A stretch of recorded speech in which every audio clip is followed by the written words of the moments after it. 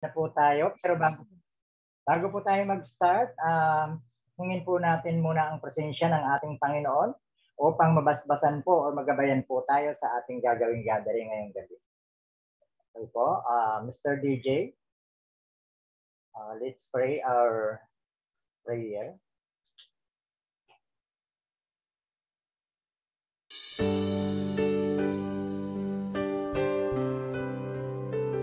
O aming Diyos, amang kataas-taasan, ang pagsasama-sama naming ito ay aming inihahandog sa iyo upang ikaw ay sambahin at pasalamatan. Labis ang aming pasasalamat, Panginoon, sa iyong walang hanggang awa at paggalingang patuloy na ipinagkakaloob sa amin. Ang pagpupulong na ito ay inilalapit namin sa iyo upang maging instrumento ng pagkakaisa at pagtutulungan. Tanggalin mo ang puwing sa aming mata nang kami malinawan at makakita sa pananaw at damdamin ng iba. Alisin mo ang balakid sa aming mga pandinig upang aming maulinig hindi lamang ang mga tinig, subalit ang nakakubling hinanaing, hinanakit at kahilingan ng aming kasapi. Gawin mong matalas ang aming mga pangamoy sa sanhi ng sigalot at hindi pagkakaunawaan at upang malanghap namin ang samyo ng mabangong pananalita at pagpapahayag. Gabayan po ninyo kami upang makita ng aming mga mata at marinig ng aming tenga ang mga aral na ibibigay ng aming mga tagapagsalita. Gabayan mo ang aming mga hakbang ng matiyak namin ang landas na aming tinatahak ay yaong iyong itinakda para sa aming mga yabag. Huwag mo sanang hayaan kami na maglakad ng mag-isa o di kaya'y mga pasadilim at matisod at idapa ng aming kahinaan ito ang aming panalangin sa pangalan ni Jesus na aming Panginoon. Amen. Ayan. Amen. Type nga po tayo ng amen dyan para mas mabliss po ang bawat isa po sa atin. Yan, parang magandang gabi po sa inyong lahat. Ulitin ko po, magandang magandang umaga sa mga nasa ibang bansa. Wait lang po. Yan. So, I'm your host for tonight. Magpapakilala po muna ako. Pangalan para po sa mga bago, um, pangalan ko po LP. So, tawagin mo na lang po akong Coach LP. So, dati pong empleyado for almost 30 years. Lagi kong sinasabi to every time na nag-host po ako. Empleyado po ako for almost 30 years. Pero, na-invite po sa ganitong klaseng negosyo, no, hindi po al- alam kung paano gawin. Okay? Walang pera, pero ginawan po ng paraan nung naintindihan. Ngayon po, full-time na po akong ginagawa ang negosyo. Andito lang po ako sa bahay. Okay po? So, ayan. Congratulations po sa ating mga uh, sa ating lahat, no? Matagumpay na nairaos po ang ating major sales rally ng ating CBORS mother group po natin. Ayan. And then congratulations po sa lahat ng nanalo, no? Uh, for sure ako hindi po umuwing luhaan no yung mga uh, umattend kagabi sa live. And then of course yung mga nasa sumpo diyan kaway-kaway po kayo diyan so type 1 nga po kayo diyan kung maganda ako at pogi joke lang. Ayan wait lang po ha. Mag-slide lang ako dito. Makita ko dito kung sino yung yung ang aurahan ay katulad pa rin kagabi. Nagulat ako eh no? Um, Grabe, naglabasan ng mga matitikas, magaganda at mga sexing nila lang kagabi. No, lalo na si ano, special mention, no? Talaga sa nag-effort talaga. Uh, yung mga nag-effort dito, alam niyo kung sino yung nag-effort diyan. Uh, special mention kay Ma'am Donna, no? Si Ma'am Donna talaga. nangingintab, nanginginang. Si Ma'am Lorna. And of course, ang ating lumaban sa Star for a Night kay Sir Hermie. Wow. Sir Hermie, congratulations sa iyo. Sawang-sawa ang iyong labi ha. Hmm. Nakatikim ka ng labi. For sure ako, sinadya mo talaga kagabi ha. Tinagalan mo talaga. Joke lang yon joke lang. That's a part of the game. so for sure ako lahat po nag-enjoy no. So shout out po sa ating mga bago. Welcome po sa ating mga bago dito. O, meron po ba tayong mga invites dyan? Uh, type nga po dyan kung sino po yung ating mga bago dito sa ating Zoom gathering. Okay? So, ah, daldal ako ng daldal kanina pa. Type 1 nga po kung naririnig nyo po ako. Baka medyo mahina ang signal ko, baka putol-putol. Sayang naman yung aking pinagbihisan para lang, ayan, okay. Siyempre, nag, nagbihis talaga ako para sa gabing ito. Kasi every time na ako ang ma, maiiloklok bilang host sa gabi, nako talagang pinaghahandaan ko yan. Alas 6 pa lang, nakaligo na ako. Alas 6 ng umaga, ha?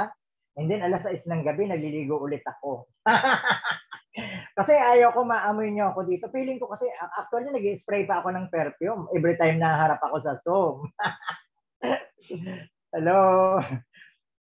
At inahanap ko dito yung ano eh. And then siyempre congratulations po talaga sa sa ating mga top earners, especially kay Coach Primo and then of course sa aking mentor coach kay Coach Natalie Jurado. So congratulations po, you deserve all the blessings, okay? And then syempre, uh, ilan ba tayo? Shout out po sa ating 80,000 participants. So just keep sending our links syempre sa ating mga business partners po para mas madami pa po tayo. Okay? Ang ating pong Zoom, ang kasya po dyan ay 500. Okay? So kulang pa po. No? Sabi nga lagi ni, ni Coach Rain, maluwag pa po, maluwag pa. Pwede ba kayong sumingit at sumaksak?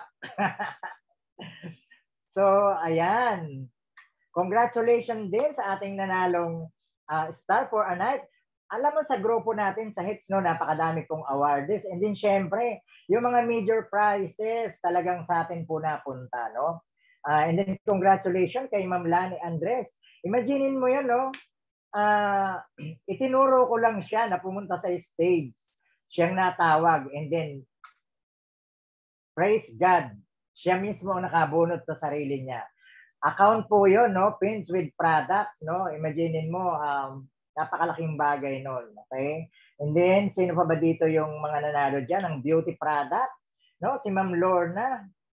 Saka si Ma'am Donna yata, no? So, lalo silang gaganda. Ma'am, yan pong naman nakuha yung beauty product. Hindi po yan ini-stock sa baul, ha? Ginagamit po yan. After a week, uh, for sure magkikita po tayo sa Thursday, no? Sa, sa 21. No? Kasi meron po tayong mga uh, face-to-face gathering no sa sa ating grupo sa hits. Kailangan sa Thursday yung nakabunot o nabunot sa raffle ng beauty product, kailangan makita ko yung aurahan nyo ha, na naiiba na yung aura nyo. Yan, siyempre. Ano pa ba? Uh, sino po ba dito yung isa-shout out natin na i-welcome po natin na bago? Parang wala. Nako. so, syempre po, yan, kung wala po tayong mga bago na i-welcome at i-shout out, for sure naman ako, mayroon po, no? Uh, welcome po. Ito po ang buong grupo ng hits na makakatulong po sa inyong lahat. Okay po? And then, syempre, uh, shout out po, syempre, sa ating grand mentor, Mentor Mark Pulmano, kasi siya, kung wala po siya, wala po tayo lahat ngayong gabi. Okay? So, nakakatuwang part lang, no? Um, puyat at pagod tayo kahapon, kagabi, uh, for sure ako, yung mga iba dyan, nakauna karating sa kanilang bahay, madaling araw na. Pero for sure ako, natutulog na yung mga yan, lalo na yung mga nanalo, nakangiti pa. No? Yung ngiti nila hanggang tainga, ukab hanggang panga. kasi ako, masayang masaya ako eh. Kasi ilan po sa mga aking mga downline pababa ng mga nabunot po sa raffle no kaya I'm so happy for them and then syempre ang ating uh, yun nga Star for a Night ay galing po sa ating grupo sa male category okay so naglabasan talaga yung mga ganda at gwapo eh no hindi ko lubos maisip na mga ganun ang itsura nila pagka naka ano eh pag nakabihis lalong tumingkad ang kanilang kapugin lalo na si Sir ano si Sario Sino magsasabi na senior na si Sir Cesario? No, nagmukha siyang 35 years old. Ayan, okay po. So syempre, kung wala po tayong mga bago, shout out ko na po ang ating per teams, no? Yung mga mga nagpipitaga ng mga coaches, mga mentor ng per team dyan, okay? So syempre, shout out po sa ating unang-una po, no? Syempre sa team po ng Kratos, oh, headed by Coach Briggs. Briggs or Brigandale Saji. Naku, baka mamali ako sa pronunciation ko sa kanyang pangalan. Ma ma-chat ako mamaya. Ang pronounce po ng pangalan niya ay Brigandale, no? Ano, napakagandang pangalan. No, napakagwapo kasi ng may-ari. Okay po? And then syempre, under po ng Kratos is andyan po ang God's General, no, kay Coach Rain Labaw. Yan, okay po. And then under po niya, nandiyan po ang God's Army. Kasi kung may generals, meron po yung mga army. Okay po? And then syempre, andyan din po ang uh, one team, no? Andyan din po ang team ng gold, no? Syempre, uh, ito, naninilaw to kay Coach Ramon Belo na puging-pugi kagabi, okay? And then syempre shout out po, no? Ito quality quality to, eh, no? Quality Vision headed by Nestor Aris, uh, Abistado. Okay, ayan, ang daming paninda niya diyan, okay? And then syempre of course andyan din po ang Team Achievers kay Ma'am Ria Estacio, okay? And then syempre, andyan din po ang grupo ng Achievers kay Ma'am Jenny Arellano na ang ganda-ganda kagabi, no? Nagmukha siyang 28 years old. And then syempre, eto, andyan din po ang isa sa ating mga team ng ating top earners sa Brave Hearts kay Coach Angelo Aguirre. Shout out po sa inyong uh, Brave Hearts team, okay? And of course, andyan din po ang Silent Hunters kay Coach Alan Binabo.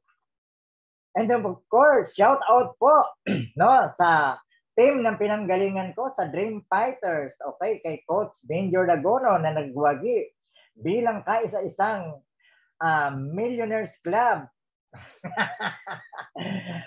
Ganda-ganda ng trophy mo, no? Ako ang nagpagawa niyan, coach. Baka naman, oh, mayroon diyan. Nagugutom na ako, joke lang. And then syempre, andyan po ang Team Perseverance ang founder po niyan, ang kaisa-isang top 1, okay? Top 1 sa sales, mid-year sales rally, okay? Kay Coach Natalie Horado, no, na nasiksing sexy kagabi. And then, um, ang kanyang matalinhagang pangungusap kagabi, ala Tere Herona na, okay? so shout out po Coach Nat, okay? Congratulations, you deserve that award, okay? And then syempre under po niyan, andyan po ang Glorious, no?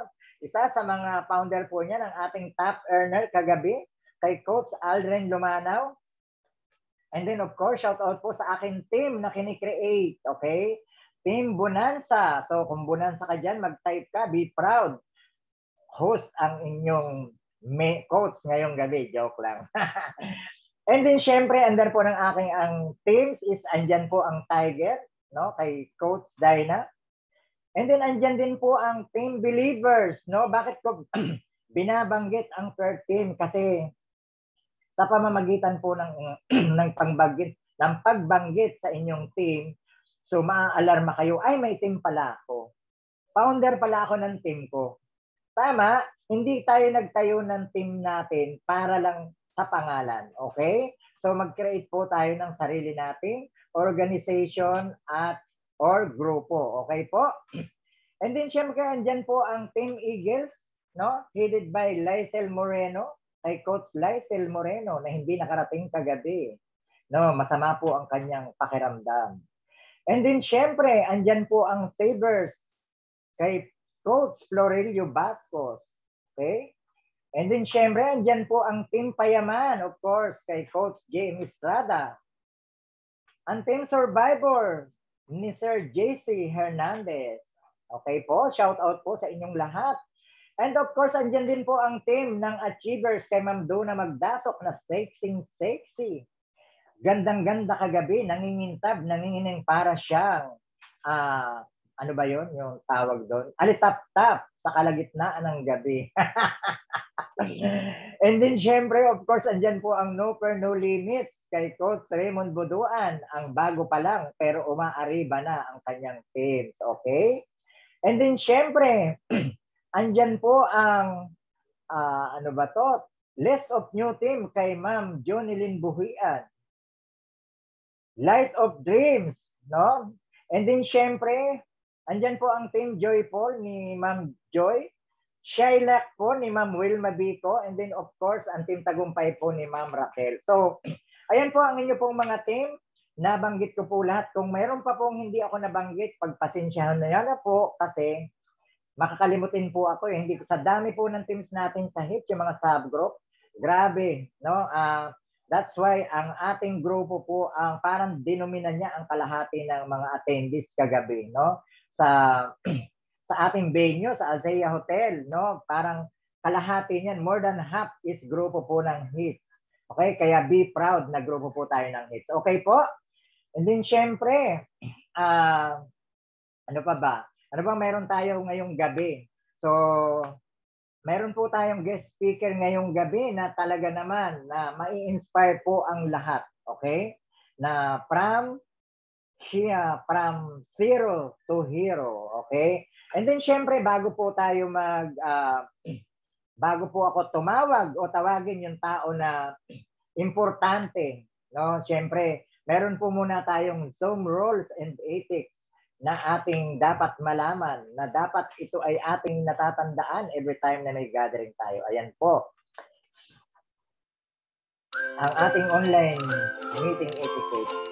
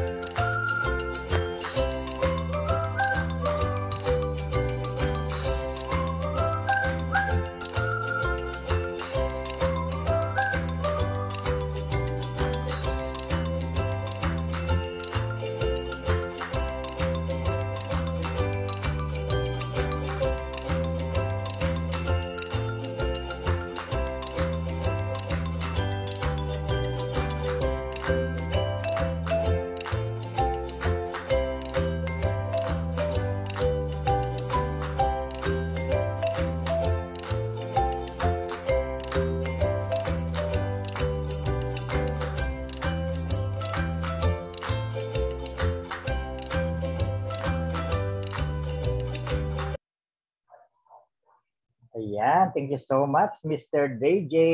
So yan po ang ating Zoom etiquette. Siyempre, ipa-highlight ko po muna no, yung isa po sa pinaka-importante every time po na may gathering tayo. No? Uh, kasi ito po lagi kong na-obserbahan every time po na may gathering tayo. Yung uh, huwag po tayo mag-unmute. No? Kasi ang dapat pong nakamute lang sa, sa gabi na to, syempre of course ako. Kasi ako po yung host And then syempre yung speaker lang po. Okay? Ah, uh, wag niyo po wag po kayong pindot ng pindot sa inyong mga gadget or sa cellphone.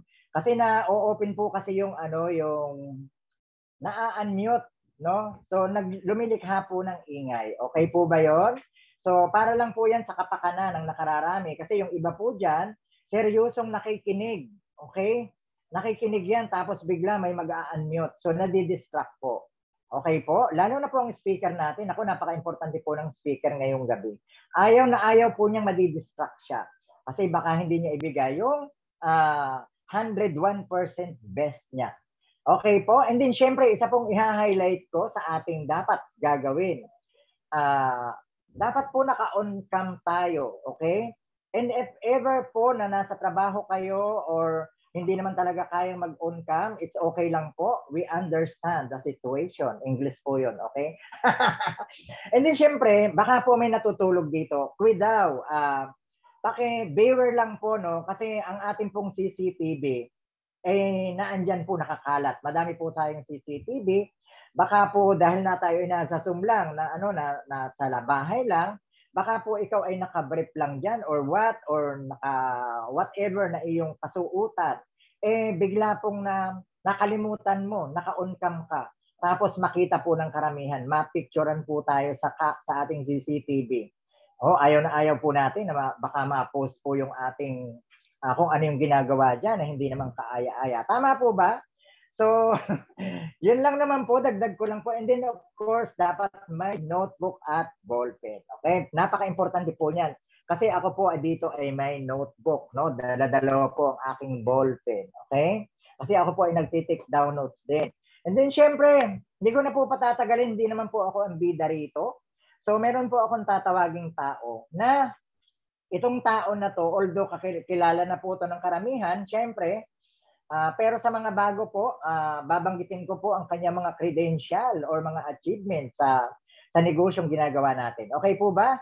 So syempre, uh, ulitin ko, hindi naman po ako yung bida dito. No? Tatawagin ko po yung taong uh, karapat dapat mag-intro sa ating guest speaker. Okay po? So isa po siyang top earner international. Okay? So dapat pong pakinggan. Okay? Cars, achievers. Bakit cars? Kasi hindi lang po isang sa mga sasakyan ang kanyang na-drive. Okay? Millionaires Club. Okay? So, ibig sabihin po, dito niya na po nakuha ang kanyang mga milyones. Okay? Property achievers. So, kasi marami na rin po itong mga properties. Okay? And then, syempre, Seviers Generals and also co-founder of Seviers Hits founder, please all welcome without further ado, coach, mentor, Mark Polmano.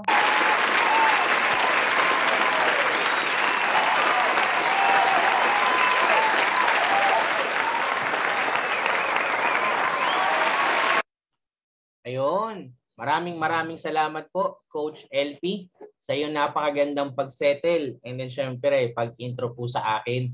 Grabe, no? Alam mo si Coach LP, once na yung Tagalog nga na sinabi niya, no, niluluklok, di ba? Binibigyan ng task, binibigyan ng ano, ng uh, delegation, no? So talagang ano talaga, uh, nagbibigay talaga siya ng oras para makapag-prepare.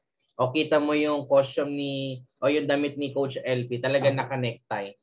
Di ba?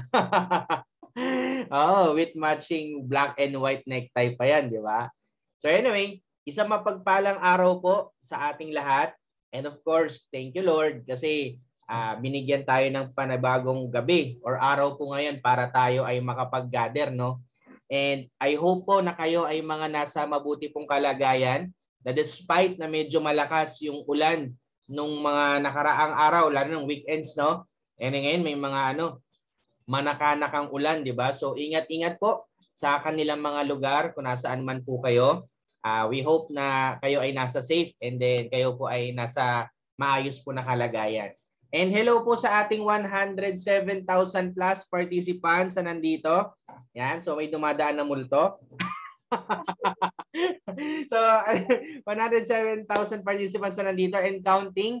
Yan, so please uh, keep sending the links para kahit papano po uh, mapapasok natin yung ating mga business partners, 'di ba? And then at the same time, sila ay makapakinig ng ating one of a kind na gathering po ngayong gabi. So sa mga bago po na mga nandito, kasi nabanggit na ni Coach LP, yung ating mga leaders no and then yung ating mga teams. Sa mga bago po na nandito, welcome po sa ating Saviors Power for System powered by Hits International. Uh, ginagawa po namin itong gathering na ganito every Monday upang ma-equip and then uh, mabigay mabigay po yung aming mga kaalaman na maituro sa ating mga business partners. Ito po yung tinatawag namin na uh, ito system support. Uh, ingat po diyan Ma'am Maria Lynn, di ba? Ito po yung tinatawag po namin na system support na ikaw ay hindi lang basta-basta sumali, bagkos ikaw ay aming tuturuan at tutulungan hanggang sa ikaw ay mag-grow sa ating negosyo. 'Di ba? So nakalimutan ko magpakilala. Yan, nandito na yung ano eh, yung ating guest speaker, 'di ba? So nakalimutan ko magpakilala. My name is Mentor Mark. Uh, isa po akong stockman sa SM North EDSA. And yung mga nabanggit nga po na ilan po sa mga little achievements na sinabi po ni Coach LP po kanina, dahil po yun sa mga ganitong mga gathering. And alam mo ba, gustong gusto ko na yung gathering pagka merong mga iniimbitahan ng mga successful na tao. Yung mga tao nagkaroon talaga ng resulta. Yung mga tao talaga nagsimula na dating wala and doing this business, talagang nagbago talaga yung buhay. Gustong gusto ko talaga silang pinapakinggan. You know why? Kasi sabi nga po sa isang kasabihan, no, if you want to be successful, listen to those successful person. At tiyak, meron kang mapupulot na kaalaman na pwede mong magamit. At pag tinake action mo, yung napulot mong kaalaman, And then, uh, ginawa mo sa negosyo po natin, ikaw din yung magiging successful pagdating po ng araw. And speaking, yan, speaking po ng, ng isang successful na tao. So ngayon po ay hits gathering nat night natin at meron po tayo Biglang may nakaalala sa akin na, ino nga ako water. Sino kaya yun, no? Number nga dyan, number.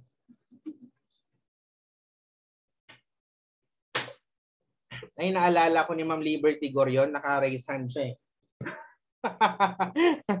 so, anyway, sabi ko nga po, no, so speaking of one of the successful na tao sa ating negosyo, sa ating ginagawa, ginagalawan na kumpanya, meron po tayong inimbitahan na isa po sa international top earner ng ating company.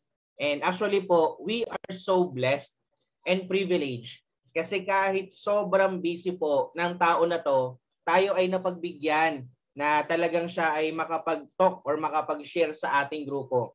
If I'm not mistaken, this is the second time or first time.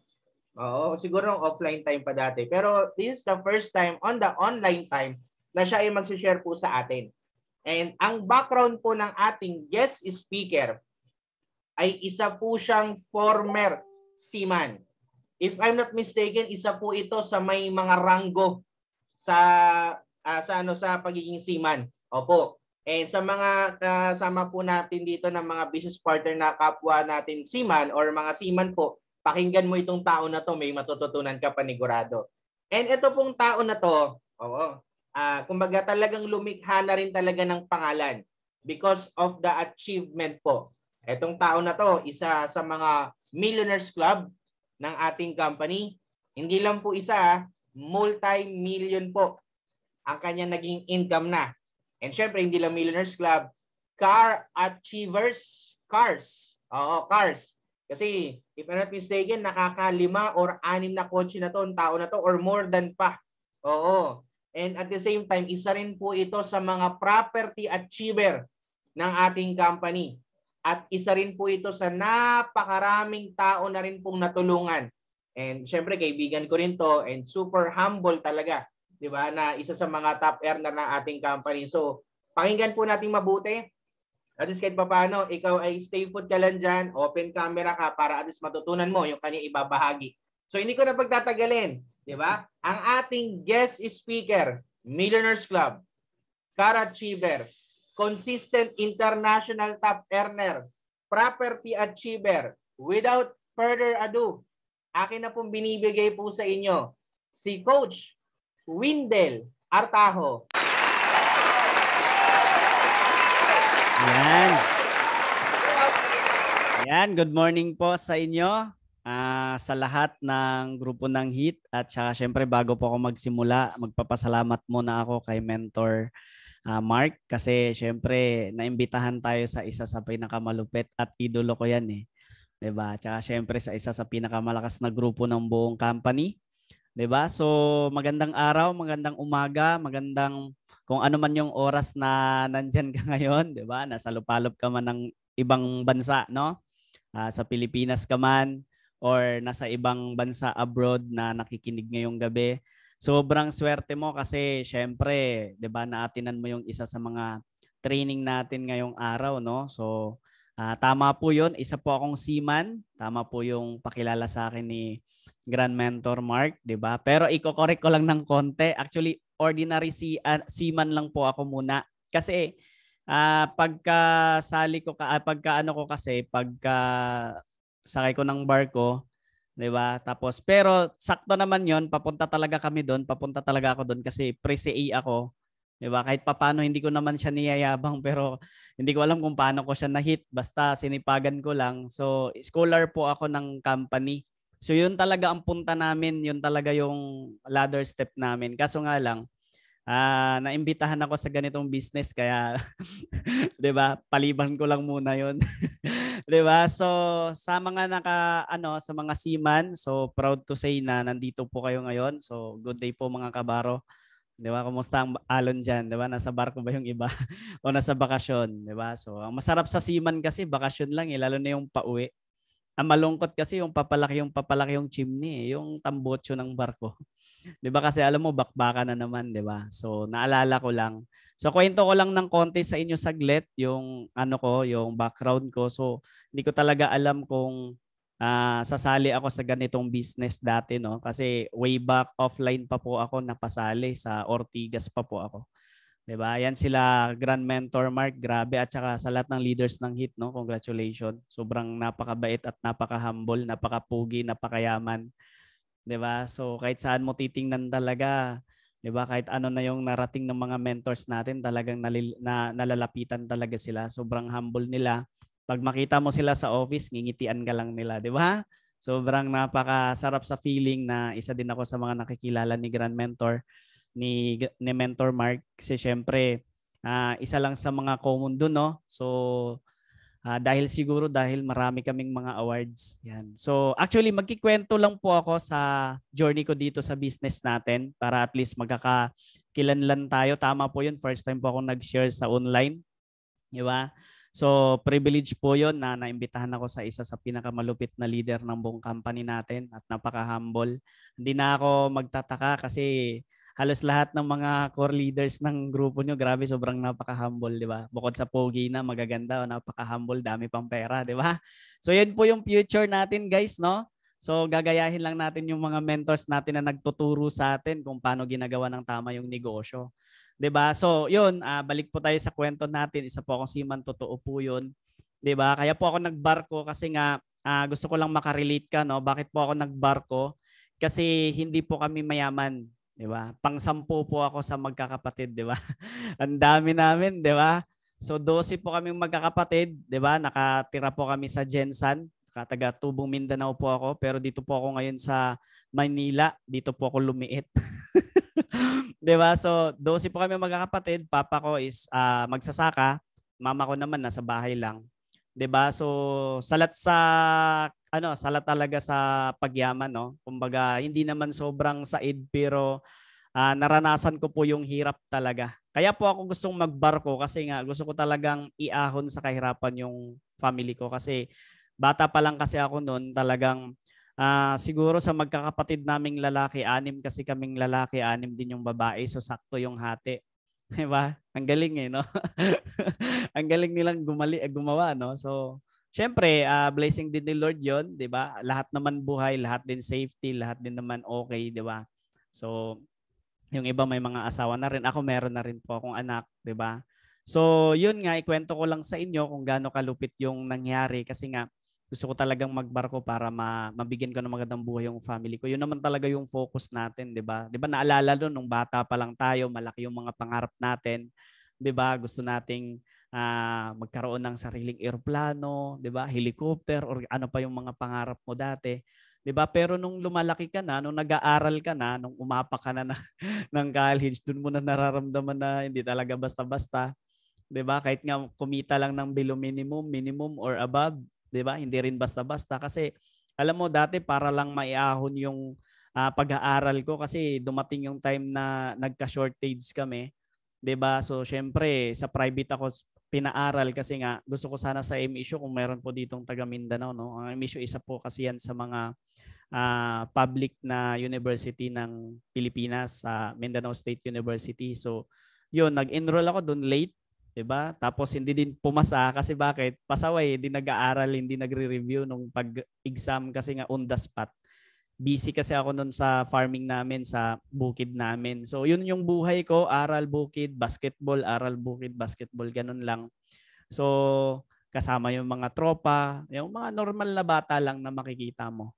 So ako yung pinakabata sa amin na na-expose sa pagbab- pagbubukid, 'di ba? So hindi ako nagkakamali, mga uh, five years old, six years old pa lang ako noon. Nilakad ko na yung bukid namin na kasing layo ng mga nasa, kung hindi ako nagkakamali, 7 kilometers yata. Hapon pa yun.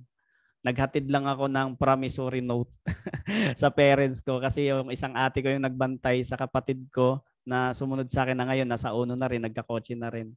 'Di ba? Siya yung natira. So ako, umalis ako na hindi nagpaalam. So kwento ko yun sa inyo kasi nga uh, sa murang edad, na-realize ko na na hindi ganun kadali yung buhay. Alam naman natin yun, di ba? Kaya po ako nandito para to make you realize kung bakit kami napunta dito sa business which is kahit seaman naman, maganda naman yung uh, trabaho, maganda naman yung income, di ba? So yun, kaya ako siya, sabi ko sa sarili ko, ayaw ko nang lumaki or tumanda yung parents ko na uh, ganito pa rin yung buhay namin. Kasi guys, sobrang hirap talaga nun, no? So alam naman natin yun sa mga nagfa-farm 'Di ba? Mahirap talaga siya kasi siyempre umaga kahit tingkad ng araw kailangan mong uh, alagaan yung mga pananim mo, 'di ba? Tapos ang pinakamasakit doon na part, yung sa amin kasi na bukid kasi, 'di ba kami yung masipag magtanim pero yung mga kapitbahay namin ang sipag mag-harvest. 'Di ba? Halos araw-araw sila na yung nauuna doon sa amin. So, at least 'di ba nakatulong din kami sa kanila. So yun, bakit po ako nag-decide na magbarko talaga kasi nga yun, ayaw ko nang maranasan din sa future na magiging family ko. Tapos syempre, maka-payback man lang din sa parents ko. So ayun, hanggang sa nag-aaral ako araw-araw, 'di ba? Hatid sundo ako noon sa ano eh, sa nung nag-aaral ako nung college. Tapos doon ko naranasan na sobrang hirap pala kahit piso kailangan mo talagang ipunin, 'di ba? Appreciate mo talaga yung uh, bayad ng tuition ng parents mo. So sabi ko sa sarili ko, gagalingan ko 'to, 'di ba? Kasi sa elementary high school hindi ako talaga nag-aaral ng maayos. Ako yung tipong tao na one night review lang ako. Pag kailan yung exam, doon lang ako magre-review. Hindi po ako yung uh, araw gabi-gabi eh, studios na klaseng tao. Hindi. Laking basketball po ako pero hindi ako lumaki, di ba? doon lang ako kasama ko lang yung tropa ko nung high school at elementary. Pero pagdating ng college, ganun pa rin naman yung way ko. Pero syempre, sa awa ni Lord talagang uh, ginusto ko talaga na makasabay. Kasi kapag graduate ka kasi ng seaman tapos walang nag-aalagang company sa'yo or hindi ka scholar, mahirapan ka mag-apply sa Maynila. Marami po akong kasabayan nung umapak na ako ng Maynila. Meron ng 10 years, 15 years, 'di ba? 5 years na nakatambay o hindi pa rin nakasakay. Kasama ko mismo sa boarding house. So buti na lang na ginalingan ko noon nung first year, second year, third year kasi hanggang third year, one year apprentice kasi kami. Pero hindi naman talaga totally one year kasi nga uh, kinuha lang namin ng 6 months na lang yata tapos sakay na international. So okay naman kinikita ko noon. Uh, I'm earning that day 65,000 a month. Uh, nagbakasyon ako noon ng 2 months, 3 months, magti 3 months na. Kasi marami pa akong inaasikaso, mga refresher course, tsaka mag-exam pa ulit, training pa ulit. Ganoon naman yung buhay. Hindi ko na alam kung anong buhay ng seaman ngayon kasi alam pagkakalam ko nagkita kami ulit ng kasama ko okay na daw eh. Hindi na daw masyadong mahal yung training. Ewan ko lang. kasi sa panahon kasi namin, halos nauubos yung ano namin, yung income namin eh. Halos 3-4 yata kayang ubusin nun. 'Di ba? Yung sa training lang, 'di ba? So, if I'm not mistaken, no, yun po yung nangyayari dati. Kaya nung time na yon na wala, without of nowhere, 'di ba? Ilang beses na akong na ano, na naanyayahan dito sa ganitong klaseng business, guys. Talagang ayaw ko lang kasi nga, syempre, ang bagay kasi na hindi masyadong hindi mo masyadong kilala or alam or walang nagsasuggest tayo sa yung maganda, hindi mo talaga siya bibigyan sa puso at isipan mong puwang, 'di ba? Parang ganito, 'di ba? Pag nakarinig ka ng mga ganitong business, 'di ba? MLM or network marketing, ang pangit ka agad ng naririnig mo sa labas, 'di ba? Hindi dahil sa inaano ko yung mga bago or mga bagong sali or sa sali pa lang, Actually, ano, uh, tapusin mo lang ako mas maintindihan mo kasi yun po yung journey na nangyari sa akin eh. 'Di ba? So, lahat marami silang sinasabi pero siyempre ako naniniwala naman ako. So, nakatatlo, apat na tanggi ako. Diba? So hindi mo na ako sumali until such time dumating yung uh, nung nakauwi na ako, nung nakasakay na ako. Siyempre, na-experience ko na yung pagbabarko. Sobrang, sobrang hirap. Grabe, kasi hindi ka napunta doon para magbakasyon. Nandun ka para magtrabaho araw-araw, oras-oras. 'Di ba? Panay ako overtime kaya umabot ng kasi ang regular kasi ng sahod talaga ng OS 40,000. Supposedly dapat hindi ordinary seaman ang sasakyan ko, dapat kadete. Ng 6 months after non exam. Tapos pag naka-exam ka, third officer na kagad. Yun yung line ko. Kaso nga lang, sa sobrang dami naming mga ano, pre-CA cadet, 'di ba? Kumbaga, yun yung nakapila na, na kumbaga parang ayoko nang mag-antay, gusto ko nang kumita kasi kaya ko namang makipagsabayan. 'Di ba? Kasi pag halimbawa, may dasal ka sa sarili mo, may tiwala ka sa sarili mo, kaya mo namang makipagkompetensya kasi alam mo naman yung sarili mo, mas kilala mo 'yan, 'di ba? So sabi ko, piliin ko na lang muna yung ano sir, yung pre-CB kasi para makasakay na ako, kailangan na ng income. Kasi ayaw ko nang aasa pa ulit sa parents ko kasi graduate na ako, aasa pa ba ako doon. So hindi ko kasi alam, pang-apat pa yata ako na line up noon eh, ang tagal pa nun, sabi ko gusto ko nang sumakay. Kung meron po kayong slot dyan, sir, na pwede pre-CB, sakyan ko na yan. Sabi niya, hindi, bawal po yan, sir. Kailangan mo pong gumawa ng ano, memo para bababa ka ng pre-CB kasi galing ka pre-CA. Sabi ko, sige lang, sir, okay lang yan. Basta bigyan mo ako magandang flip. Yun, nabigay, nalagay naman ako sa LNG. Pero bago po yan, na nagkaroon ako ng idea sa LNG, ang dami ko pong training. Marami kasi yan. LNG, crude tanker. Doon po ako napunta sa fleet ng Europe. So, swerte ko pa rin kasi tanker siya na may malaking sahod pero safe siya kasi nga LNG lang siya. 'Di ba? So hindi basta-basta sumasabog 'yan kasi syempre liquefied natural gas lang 'yan siya eh. Di tulad ng product tanker at chemical at saka yung crudo talagang kunting mali mo lang doon. 'Di ba? Pero siyempre may mga safety precaution pa rin naman 'yan, guys. So naikwento ko lang sa inyo kasi nga ganun talaga. Talagang pag gusto mong isang bagay, kailangan mong magsakripisyo, kailangan mong magdadaan sa mga bagay na kailangan mong daanan kahit hindi mo siya expected, 'di ba? Tapos 'yun, uh, naranasan ko lahat, na napaaway kunti sa barko, tama ba 'yun? kasi marami kasing bully sa barko, guys eh. Sino po ba yung mga nagbabarko dito? Dami, dami, di, dami. Kasi sa totoo lang, nung nagsimula po ako, kwento ko lang ng konti sa inyo para makarelate po kayo. Meron akong kasama, actually mixed crew kami, Croatian, European, uh, Russian, tapos kami Pilipino. Halos lahat ng PT officer pababa, mga Pilipino na. So ang pinakamasakit na part, Pilipino pa yung nang aon siya miss sa'yo. Diba? Ang kulit eh. Mas kakampi ko pa yung puti kumpara sa kadugo natin. Pero hindi naman sila lahat. May iba namang mabait, may iba ding hindi. So sabi ko sa sarili ko na Lord, doon ako nagdasal na Lord, bigyan mo ko ng isang magandang opportunity sa Pilipinas na kayang kumita tulad ng pagbabarko or mas higit pa. Nakasama ko lang yung family ko. Nasa Pilipinas lang ako. So every day, every night nagdadasal ako hindi lang doon sa bla- sa sa mga blazing, sa safety, kundi yung patience kasi sa totoo lang guys, uh, hindi ko alam kung ano no, kung lahat naman tayo siguro mga mainitin ng ulo. Ako kasi sobrang init ng ulo ko talaga before. Talagang kunting ano lang, bully lang, um, umiinit ka agad, 'di ba? So, na pero kaya ano, kaya ko naman makipagsama, makipagsabayan, uh, makisama, kaya naman, 'di ba? Palatawa naman tayo ng ta- na, na klasing tao kaso nga lang may mga iba talagang nananadya, 'di ba? Hindi naman natin maiwasan 'yun. So pinagdadasal ko na Lord na sana bigyan mo pa ako ng pasensya kasi mahirap na baka mapupuno mapupuno yung sarili mo, 'di ba? Hindi mo alam kung anong uh, pwedeng mangyari or magagawa mo. So hindi ko alam na after pagbaba ko, 'di ba? Nakulit lang din ako ng taong nagdala sa akin, 'di ba? Yung taong nagdala sa akin wala na rin ngayon, 'di ba? Alam nila mentor 'yan. 'Di ba?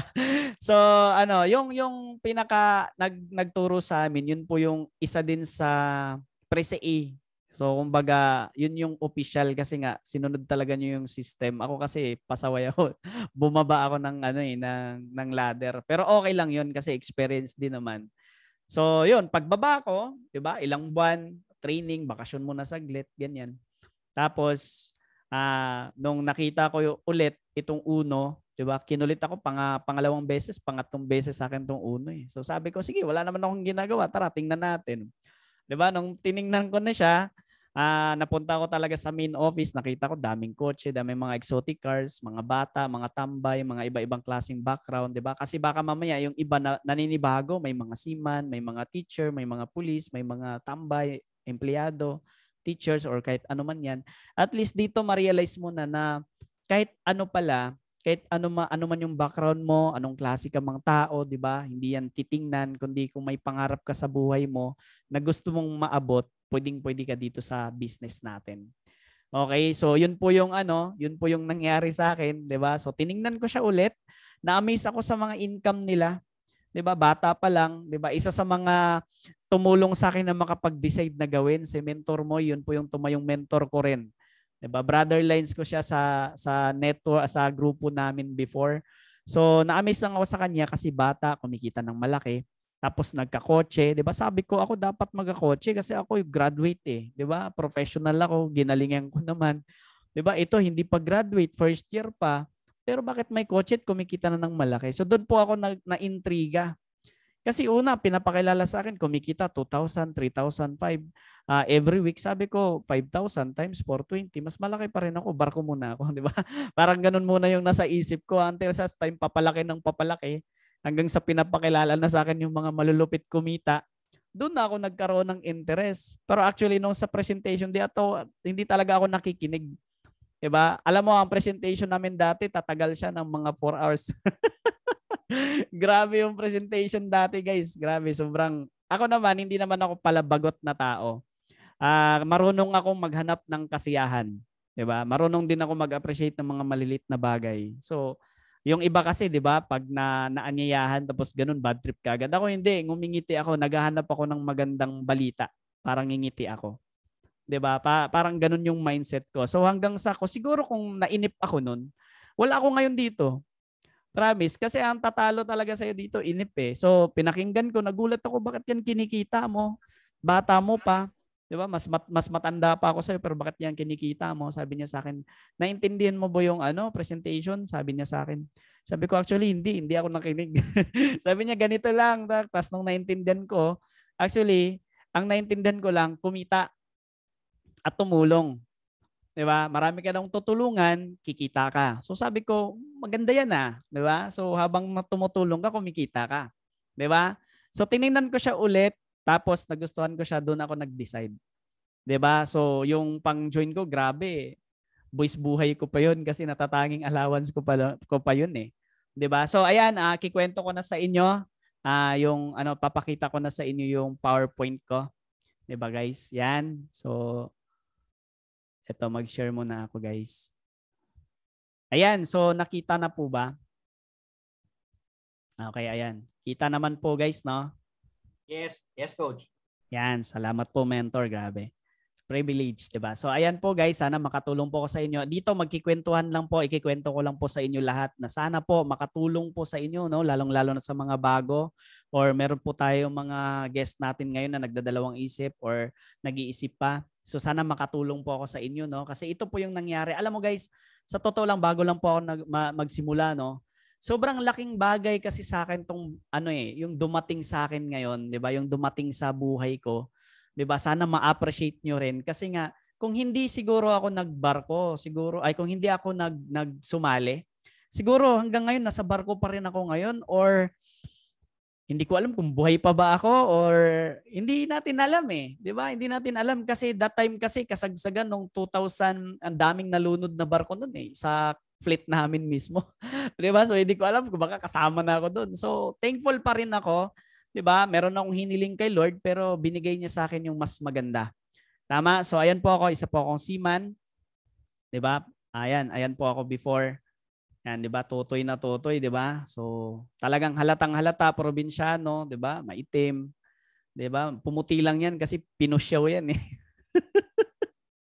pinusyaw yung picture. 'Di ba? So, ayan, uh, at least 'di ba, nakita nyo nag-graduate po talaga ako diyan. 'Di ba? Ayan po ako before 'yan. Grabe, no? Yan po yung trabaho namin sa barko. 'Di ba? So that time apprentice ako niyan. So dahil pre-CA kami, so kami yung nagkaroon ng privilege na makasakay sa training ship ng company namin.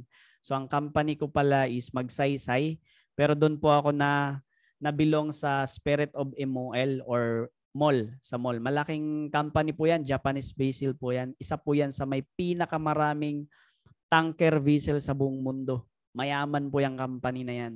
Diba? Sobrang grabe yung yaman yan. Billion-billion yung kada deliver niyan eh. So yan po ako. So nagkaroon ng privilege na uh, magkaroon ng pagkakataon na makapagsabayan. Kung napapansin niyo po yung picture ko diyan sa may bandang kanan, 'di ba? Nakita niyo may mga Indian, may mga Japanese. Actually, marami po kami diyan na mga ano iba-ibang lahi kasi training kami. 'Di ba? Yung mga Japanese, siyempre, advanced sila. Siyempre, company nila yan eh. Siyempre, priority talaga sila diyan, 'di ba? So, talagang road to officers kaagad sila. Pero habang ibang yung mga lahi, tulad kami, Indian, Filipino, Ukrainian, Russian, Diba? Tapos uh, Vietnamese, ang dami namin dyan. Nasa 280 yata kami dyan na passenger na mga kadete. Kaya sobrang napakamahal na cargo din yan. Di ba? Yun yung isa sa maliit na barko lang yan pero sobrang daming nakasakay niya na may brilliant yung future. Talagang sobrang ganda. So minold kami. 'di ba? Tinuruan kami, talagang ginagastusan kami. Pero da, kahit diyan may allowance na po kami diyan, 20,000 a month. So ganun yan pag binibigay mo talaga best mo. So ayan, hanggang sa yun, uh, nakasakay na ako. Tapos that time, na-introduce na sa akin ulit yung uno. Ayan po ako, di ba? Tingnan mo yung mga damitan ko, suotan ko. Di ba? Kwento ko lang sa inyo, no? Hindi dahil sa ine-negative ko kayo. Pero ito po yung part na talagang normal na maintindihan nyo, na maranasan nyo. Lahat po ng nakaupo dyan at yung babaeng nakatayo, negative po yan sobra. Sobrang lupit ng mga yan. Pinagtatawanan ako niyan, 'di ba? Lahat ng tropa ko binirus lahat, 'di ba? Pero yung dalawa naman na ano nakatayo sa likod, naging leader ko naman 'yan sila. So, 'yun, hindi basta-basta yung umpisa. Pero alam mo dahil sa uh, meron akong narinig noon na salita na galing sa mga mentors at galing sa mga trainings kasi ako mahilig kasi ako sa mag-training, 'di ba? Hindi ako matalino, hindi din ako mahilig mag-aral, pero naniniwala po ako sa proseso ng training. Totoo po yon. Yan po yung magpapatibay sa'yo. So, despite sa maraming nagre-reject, kahit parents ko, mga kapatid ko, 'di ba? Uh, nagalit sa akin yung kuya ko kasi yun yung way ng basta mamaya ikwento ko sa inyo kung paano ko nabuo yung game plan, yung multiple accounts.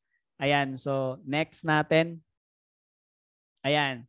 Yan, ipapakita ko yan sa inyo kasi napakalupit po niyang salitang yan. Maliit lang yan, di ba? Compose lang yan ng ilang letra. Siyam, di ba? Pero napakalaking bagay po niyan guys.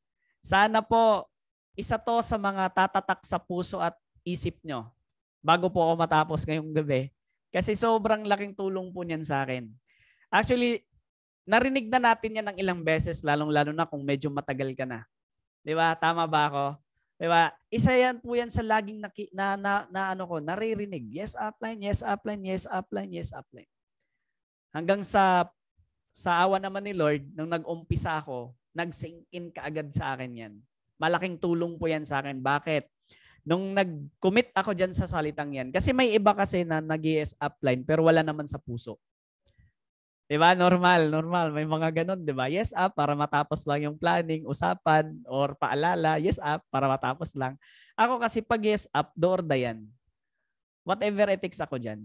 Hindi ako papayag na pag nag-commit ako ng yes up, pagbabanggitin ko yung salita na yan, hindi ko makukuha yung pinapatarget niyan. 'Di ba? So ayan. So dahil nag-yes up, dahil may yes upline na ako, naintindihan ko na yung salita ng yes upline. Sabi ng upline ko, mag-start ka dapat ganto. So ayan na nga, multiple accounts. 'Di ba? So hindi naman lingid sa kaalaman natin 'yan, lalong-lalo na kung bago ka pa lang or nakita mo na yung game plan or paano kumita ng mas malaking pera in a short period of time, yan po yung kailangan mong gawin. 'Di ba? Nag 15 heads po ako diyan. Actually, hindi po ako nag-invest ng 15 lang. Nag-open po ako ng family package. 'Di ba? So, ang total na nilabas ko po diyan is 21 accounts. Bakit po ako nag 21 accounts? Kasi gusto kong mag-graduate kaagad yung 10 pairs. Ayaw ko na dumaan ng 500, ayaw ko na daan ng 1,000. Gusto ko na kaagad diretso ng 1,500. Ganun po yung ginawa ko niyan. Diba? So, siyempre, hindi ko na sinama kasi siyempre nakapangalan sa kapatid ko yung iba. 'di ba? So, pinasali ko yung kapatid, binayaran nila ako. So, bago ako nag nagdala ng mga tao, bago ako nagpasali, napunta na muna sa ilalim nila. So yun po yung purpose nun. Kailangan, pag nagsisimula ka sa ganitong business, kailangan willing kang gawin lahat. Okay? Willing kang gawin lahat para ibigay sa'yo yung lahat ng gusto mo.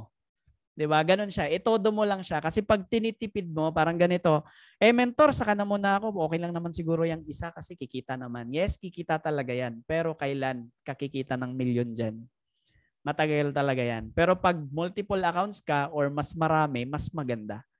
'Di ba? So alam niyo naman yung ibig sabihin nun, mas the more the, more the merrier, 'di ba? Mas maganda pag marami. So sinunod ko lang siya, yes up lang ako. So hindi ko alam, nasabi ko, grabe, uh, hindi ko na itatago, inutang ko pa yan. 'Di ba? Galit na galit yung kuya ko kasi doon ako umutang. 'Di ba? Sa nung nalaman niya na nilagay ko dito, galit na galit, 'di ba? So wala, hindi ko siya inaway. Hindi ako nagsalita, hindi ako sumagot, ngumiti lang ako. Sabi ko, kuya, bigyan mo lang ako ng panahon, patunayan ko sa iyo maganda tong ginagawa ko. Sabi niya sa akin, ha, hindi yan totoo, diyan na kami galing. Hindi kami kumita diyan, na fail kami diyan. 'Di ba? So, puro lang yan ganyan, paasa, ganyan ganyan. Pero kung gusto mo, sige. O yan, yan yung ginawa niya sa akin. Pero galit pa rin siya ta- sa akin kahit yung mama ko, 'di ba? Galit na galit sa akin. So siyempre, ang inasahan nila, 'di ba? Nagsisima na, nakasima na, napunta pa dito sa negosyo. So marami din nagsabi sa akin na ang bobo mo naman, sayang. Okay ka na sana. Kaso nag-uno-uno ka. Marami talaga, sobrang dami. Hindi ko to kwento para manigative ka, pero kung naranasan mo na to, you're in the right track kapatid. Kailangan mo lang tibayan yung loob mo. 'Di ba? So ayan, nangyari sa akin, sinunod ko lang, yes up lang ako ng yes up, nagulat ako, ayun na, qualify na ako ng Singapore. 'Di ba? So, yung Singapore naman gas-gas na sa mga seaman yan kasi na, diyan kami lagi eh, bunkering, 'di ba? Provision, 'di ba? Dry dock or dadaan kami diyan palagi papuntang Europe, papuntang Asia, diyan, naman talaga dadaan. So, hindi ako baliw sa travel talaga, sa lalo na ibang bansa. 'Di ba? Pero syempre gusto ko lang matry kasi sabi kasi nila wala daw gagastusin eh piso. O di trinay ko nga. Hindi talaga ako nagdala ng pera diyan. Pero yun nga, ang good news diyan, grabe binusog kami. Iba talaga pag ang company ang nagbigay sa iyo ng privilege na incentive, grabe sobrang sarap talaga, one to sawa ka diyan. 'Di ba? Ang dami naming pinuntahan. Grabe. Ang mali ko diyan, gusto kong ma-share sa inyo ang mali ko diyan, unang pasok namin ng pinakamagandang restaurant, kumain ako ng marami hindi ko alam na ang dami pa palang kasunod. kasi 3 days kami dyan eh. Bad trip ako doon kasi bakit pangalawang restaurant na pinasukan namin, ang sarap din. Sabi ko, wala nang malagyan. Tingin na lang ako, tikim na lang ng konti. Kasi wala, inuubos ko na yung gutom ko nung umpisa pa lang eh. So lesson learned, dapat unti-unti lang. Marami kasing iikutan. Tapos nagstay kami diyan sa Orchard Mandarin Hotel kung hindi ako nagkakalim na hindi ko makakalimutan. Isa po yung parang tagig sa Pilipinas sa Maynila. Isa po yan sa pinaka-expensive na subdivision or lugar nila. So hindi ka basta-bastang magstay dyan kung talagang pipitsugin lang talaga. So, salamat ako sa company natin kasi syempre nabigyan ako privilege na ganyan. Kasi nga, dumaan kami dyan, oo, nagbabarko pero hanggang daan lang.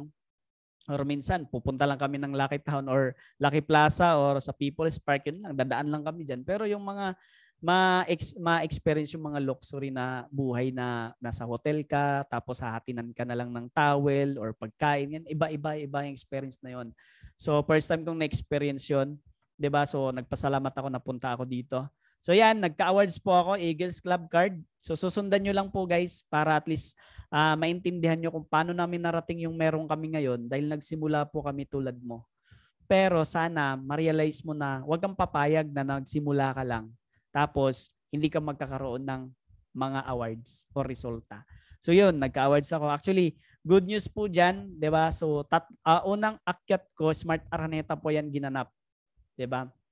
Uh, unang akyat ko sa stage ng Smart Araneta, uh, hindi ko naman alam kung Smart Araneta yon Basta malaking stage siya, sobrang lupit. Wala naman akong pinangarap na umakyat sa mga ganyang stage, no? Pero sino ba ako 'di ba, na, na nabigyan ng pagkakataong umakyat diyan, kumaway diyan, na picturean diyan sa mga stage na 'yan dahil lang nagka-awards ako sa company natin. So ang awards ko diyan, Eagles Club, Singapore Qualifier at saka Fast and the Furious. So tatlo kagad yung awards ko na inakyatan. Kumbaga, kung tatanungin mo ako paano ko nagawa, trabaho talaga. Focus talaga. Imaginein mo ah, maganda na po yung kita ko sa labas pero nagsakripisyo ako. I'm willing to alam mo yon sinacrifice ko yung income ko into zero talaga. So ewan ko lang kung may tapang ka ng ganun. Pero lahat kasi ng successful risk taker yan eh. 'Di ba? So in-enjoy ko pa rin yung moment. Siyempre, 'di ba? Imagine mo 65,000 a month ka, bigla kang 'di ba? Boom, 'di ba? Sa nagsisimula ka ulit. Pero ang good news diyan, yun yung akala ko na magsisimula talaga ako sa zero. Pero ang good news dyan, two weeks pa lang, nahit ko na FNF. Eh, magkano yung kikitain mo sa FNF? Kung ito-total mo, almost 100,000. Hindi, talo ka agad. Imagine mo, kakaaral ko lang, pero nakagad yung income ko. 'Di ba Sobrang nakaka-excite, nakaka-amaze talaga yung nangyari. Kasi nga, wala akong ibang ginawa nun guys. Talagang nag-focus lang ako sa pagi, pakikinig ng mentor ko, sa planning niya, sa mga turo niya. In-apply ko lahat. 'Di ba? Nahirapan ako, na-reject ako pero hindi na ako nagreklamo kasi normal lang naman 'yun sa negosyo natin. 'Di ba? Normal lang 'yun. Kailangan mo lang yakapin yung proseso na 'yon. Kasi pag niyakap mo na 'yon at tanggap mo na 'yon sa buong kalooban mo, sa puso mo, sa isip mo, na normal lang pala talaga 'yan. Oh, hindi ka na magtataka. 'Di ba? Na yung mga kaibigan mo, hindi mo nasasali sa iyo. Pero ito kwento ko sa inyo guys ha. Ang tagal sumali ng mga yan. Loko-loko yung mga yan eh. Kwento ko lang sa inyo guys. Meron kasi akong tropa na napasali ko ngayon. Actually, uh, ah, 15 heads na siya. ba? Going na, pinaplanning ko na yung FNF niya. Pero alam mo, 5 years bago sumali. 'Di ba? Ang kulit kasi bakit ito mga banat niyan. Marami sila. Mga tropa ko elementary, high school, kahit yung college ako. Alam mo banat nila, sige, uh, mauna ka lang diyan pag kumita ka na, sabihan mo ako sasali ako. Alam mo, nung kumita ako, nung nag-FNF ako, tol, kumita ako, grabe, sabay ka na. Sobrang napakaganda ng business na to, masaya siyang gawin. Sabi niya, sige, antayin kita pag nagkakotse, nag, nagkakotse ka na, sabay ako. Nung nagkakotse ako, tol, ito na, nagkakotse na ako. Diba? Tapos, sige, saka na, pag kumita ka na ng million dyan, yung first million mo, pakita mo sa akin. Nung nag-million na ako, sabi niya sa akin, actually, tol, ito sana yung ano, gusto ko sanang sumali diyan eh. Kaso nauna ka na eh. Ang kulit, 'di ba? Ang kulit nila kaya wag mo silang anuhin, wag mo silang pansinin, 'di ba? Kung ayaw nila, okay, hayaan mo lang sila, wag mo silang awayin, enjoy mo lang yung moment mo. At syempre, panggigilan mo, kumbaga bigyan mo yung pride yung sarili mo na wag kang papayag na walang mangyari sa iyo sa, sa ginagawa mong negosyo. 'Di ba? Kasi wala namang maling desisyon basta anuhin mo lang, paninindigan mo lang. Lalong-lalo na kung gusto mong matupad pangarap mo, walang mali diyan ha. Kasi nasa tamang negosyo ka, nasa ethical, moral at napakagandang negosyo.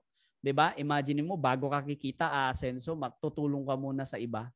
'Di ba? So walang masama doon, sobrang ganda nga doon, 'di ba? Nasa Bible nga 'yun eh. Pag marami kang natutulungan, maraming blessing na darating sa iyo. Kahit hindi ka man tutulungan payback ng taong mga natutulungan mo, si Lord na bahala sa 'Di ba? So ganoon siya kaganda. So tuloy-tuloy lang, nagkaroon ako ng marami pang awards.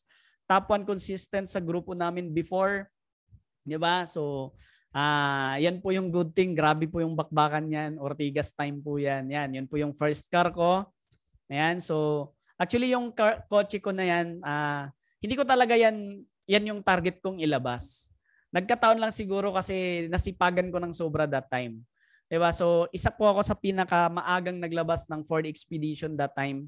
So, yan, hindi ko naman siya pinagyayabang, no? Ang point ko lang is, iba pala talaga pagsipagan mo siya. Talagang ibibigay sa'yo yung mga hindi mo expected na mga bagay. Kasi ang pangarap ko lang naman kasi dati motor eh. Pag may motor ka na, cool ka na nun. Eh. Lalong-lalo na kung nasa province ka. Lalo na pag naka-raider kasi sikat na sikat yung raider that time, that time eh, di ba? Bidang-bida ka na nun eh. 'Di ba? So dahil sa sobrang sipag tapos nabuksan ng content na dapat pala talaga maganda din talaga, bumili ka rin ng kotse, taasan yung standard mo. So wala namang masama kasi siyempre willing ka naman magtrabaho, willing ka naman mag-workout. So sabi ko sige Civic okay na. 'Di ba? Civic yung una kong target. Sabi ko gusto kong magka-Civic. Tapos nung nakita ng ng ano ng pinaka grand mentor namin noon, 'di ba? Kilala din ni grand mentor Mark 'yon, 'di ba? 'Di ba? Sabi niya, "Ito na ilabas mo." 'Di ba? So, sabi ko, kaya ko ba yan? Sabi ko sa sarili ko, kaya ko ba yan? Ang laki niya na. 'Di ba? Tapos ang gas nito, drum-drum yung gas nito eh. 'Di ba? Pambihira tong kotse na to, 'di ba? 'Di ba? Kaya mo namang bilhin 'yan, guys. Kaya mo naman bilhin 'yan. Pero kapag hindi ka nagnenegosyo, kawawa ka diyan sa everyday gastos. Yan kasi ang gasolina ba, isang biyahe kung isang daanan lang ha. Ah, uh, dati kasi ang biyahe ko ah uh, Ermita papuntang Ortigas eh. Hindi ko alam kung ilang kilometers 'yon, pero isang libo 'yon. Uh, isang Di, dalawang libo. Ganon yung gas namin. Di ba? Pag lumiko ka, alam na. Di ba? Yan po yung kotse na yan, may sakit po yan sa manubela. Di ba? Bigla po yung kumakabig pag nakakita ng gas station. Di ba? Kinikwento ko lang kasi ang sobrang saya guys kasi hindi ko naman talaga yan pinangarap. Hindi ko naman inisip na marating ko yan. Pero dahil sa uno, dahil sa negosyo natin, 'di ba? Binigyan niya ako ng pagkataon na ma-experience yan. Kasi kung nagbabarko, bakit ako bibili niyan? 'Di ba? Bakit ako bibili niyan? Swerte naman ng ano, bibili bibili ako niyan, 'di ba? Tapos anong gagawin ko? Tambak ko lang sa bahay. Ang mahal-mahal ng gas niya, mahal-mahal ng makina niya. Nabangga ko nga yung puwet niyan, 'di ba? Sa likuran niyan, pinaayos ko 30,000 agad. Dati pa 'yun, ha. Aray kumambo ka talaga diyan, 'di ba? So anyway, na-experience ko, lang, ko, ko yan dahil nagtiwala ako sa grupo, nagtiwala ako sa sistema, nagtiwala ako sa company. At syempre, nagtiwala ako kay Lord at sa sarili ko na makakaya ko siya. So maraming nagtawa sa akin, bakit yan daw yung binili ko, ang laki-laki. Sabi ko naman sa isip ko, kaya nga ko yan binili malaki kasi maliit ako. Ang pangit naman, ang liit ko na nga, bibili pa ako ng maliit, di ba? so maganda na yung malaki para brusko na, di ba? So ang ganda ng kotse na yan kasi dati kasi, di ba? Hindi pa naman si PRRD dati, di ba? Panahon pa naman nila Gloria at saka uh, naabutan ko kasi Pinoy eh, kay Pinoy. So hindi naman masyadong stricto doon. Actually, ang ganda ng kotse na yan kasi bakit? Mag-hazard ka lang, bubusina ka lang, dadaan ka sa isang daan na bawal ka din dapat. Di ba? Example, bawal mag-U-turn. O, hazard ka lang, tapos busina. O, sasaludo pa yan sa'yo yung mga ano, enforcer. So, yun yung maganda sa kotse na yan. So, hindi ko siya na-appreciate dati kung hindi ako sumali. Siyempre, na-experience ko yan lahat dahil dito na. So yun yung isa sa mga bagay na na na-experience ko dito along the way. So yan, uh, dahil nagka-coach ako, nag-FNF ako, meron din ako mga direct ko na napa-FNF ko rin sila, nagka-coach din sila. So ang sarap sa feeling guys na habang kumikita ako, kumikita din yung mga taong napapasali ko. Alam mo guys, hindi naman pera, hindi naman kotse yung kinikwento ko sa inyo para ma-excite ka. Alam mo ang na-excite dito at ang napakasarap yung makita mo yung tao na nabubuksan mo rin yung pag-asa sa buhay niya na pwedeng magbago din yung buhay niya at maabot yung mga pangarap niya. 'Di ba? At for sure sa kay Grand Mentor Mark pa lang, wala na, ang dami na niyang natulungan, sobrang dami na. 'Di ba? Simula sa mga leaders hanggang sa inyo, 'di ba? Gusto niyo tips para gusto niyo mabilis kayong matulungan? Dapat magiging magaan. Dapat always be grateful. Bawal magreklamo, bawal mga negative na mga iniisip, 'di ba? Dapat masaya ka lang sa ginagawa mo. 'Yun lang din yung ginagawa ko noon. Hanggang sa naka-develop din ako ng mga leaders ko. Kung ikaw wala ka pang leaders, okay lang 'yun. Darating din 'yun. 'di ba? Pero kailangan mo munang sipagan talaga sa umpisa. Ganun naman eh. Kahit hindi ka naman mag-uno, kahit hindi ka naman magnegosyo, magsisipag ka pa rin naman. 'Di ba? So mas maganda dito kung nag-work ka, igawin mo lang part-time kung kailan yung oras na bakante ka. Kung full-time ka na, ay naku, sobrang laki ng advantage mo. Alam mo pinaka the best para sure na mabilis yung resulta mo dito. Dikit ka sa mentor mo. 'Di ba? Lagi kang makipag-usap sa mga mentor mo. Huwag kang lalayo kasi alam nila kung anong kailangan mong gawin para sasabog yung network mo. So ayan, lumaki din yung grupo, kaka-yes upline lang. Ba malit na salita, 'di ba? Pero binuo lang ng 9 liters, 'di ba? Pero grabe yung tulong na binigay sa akin. Hindi ko alam to ah. First time ako dito guys, baka alam nyo. First time ko pong network to, first time po akong nagnegosyo ng ganito. Ang akala ko nga dati, ayaw kong magnegosyo ng bata kasi ang mga nagnenegosyo pang matanda lang. Eh. So hindi ko alam na mas maganda pala pag bata ka pa lang, involved ka na sa mga business para lalawak yung experience mo tsaka yung paano talaga mag-business. 'Di ba? Kasi karamihan kasi sa Pilipinas, uh, sa Pilipino, 'di ba? Uh, pagka 60 saka magnegosyo, 'di ba? Malabo yung percent na percentage doon na mag-success ka kasi bakit 40 years mong inubos sa trabaho. Eh. I'm not against employment ha. 'Di ba? Pero ikikwento ko yan sa inyo, real talk naman kung iisipin mong mabuti, tama naman eh. 'Di ba? Saka ka lang ba magnegosyo kapag 60 ka na? Hirap nun. 'Di ba? Ugod-ugod ka na noon, baka may sakit ka na noon. At saka, huwag masyadong kampante kung kaya mo kasi ang ang lifespan ng tao bumababa. At hindi din tayo pabata. Actually, dalang, dalawang bagay lang na totoo na hindi mo kayang baguhin. Yung oras, hindi marunong magantay, at yung katawan mo, hindi pa bata. 'Di ba? Meron tayong tinatawag na body deterioration, kaya dapat sipagan mo ng todo. Gawin mo ng nakaka-excite, lagi ka lang dapat masaya. Ganun ba talaga yun, mentor? Yes, para ma-attract mo siya. Kasi pag puro ka problema, puro ka reklamo, puro ka negativity, maniwala ka sa akin, mahirapan kang mag-growth. Kahit sarili mo, mahirapan mong i, ano, ituruan. Kasi kukontrahin ng sarili mo yan eh. Kailangan i-conquer mo muna yung sarili mo. Talunin mo muna yung mga nagne-negative sa isipan mo. Kasi bakit? Hindi naman yan, hindi mo naman kalaban yung mga taong nagre-reject sa'yo, yung mga kaibigan mo na ayaw sumali sa'yo. 'Di ba? Ang pinaka-mortal mong kalaban is yung sarili mo. 'Di ba? Pero kapag natalo mo na 'yan, kahit sinong pipigil sa iyo, wala nang makakapigil sa iyo. 'Di ba? Meron nga nagsabi, 'di ba? If you can conquer yourself, you can conquer the world. Sino nga ba yung nagsabi noon? Napoleon Bonaparte ba 'yon? 'Di ba? So yan po, 'di ba? Imaginein mo, nag-negative lahat ng mga kapatid ko. Ayan na sila, 15 header lahat. Kasi bakit? Eh nag 15 heads ako eh. 'Di ba? Pinakita ko sa kanya, pinakita ko sa kanila na ito yung ginawa ko, ito yung sinunod ko. Ayun lahat. Dati pinagalitan ako. Sayang yung inaral mo, sayang ginastos ni mama, papa sa'yo. Tapos diyan ka lang napunta. Ayun, nagka-resulta na ako, ayun. Gulat sila, di ba? Nagulat din ako, sumali na. Yung kapatid ko nga, yung panganay naming lalaki, kwento ko lang sa inyo, ayaw niyan eh. Galit na galit sa akin, di ba? Nung sinundo ko sa airport, nilibre ko, 'di ba? Hindi niya alam na nakakondo na ako that time, nakadalawang kondo ko sa Uno. Nakakondo na ako that time. Tapos hindi niya alam, six months lang yun nakuha ko sa Uno. Dahil sa Uno yun, sa sipag din yun ha. At saka hindi bigay ng Uno yun ha, baka mamaya iniisip ng mga bago bigay. Wala pong bigay ng Uno dyan. Pinaghirapan po namin yan. 'Di ba? Negosyo talagang natural. 'Di ba? Tapos yun, uh, ang ginawa niya, uwi siya ngayon, tapos may ipapasa lang siya sa POA at sa ano niya sa company niya. Tapos after nun, uwi na siya ng Jensen. Kasi hindi naman niya alam na may bahay na ako dito eh. So, connecting flight siya. Kinabukasan, alis na siya kaagad. So, hinatid ko. Tapos duman ako sa office. Sakto, may check ako noon, 150,000. So, walang latag, walang presentation, walang pilit, walang kwentuhang uno, walang kwentuhang negosyo. Sinama ko lang siya. Nilibre ko siya gabi, pinatulog ko sa kondo, nilamigan ko yung aircon, di ba? di ba? Tapos pinakain ko ng masarap, pinalutuan ko ng ano yan, ng sinigang at saka ano, maraming ulam.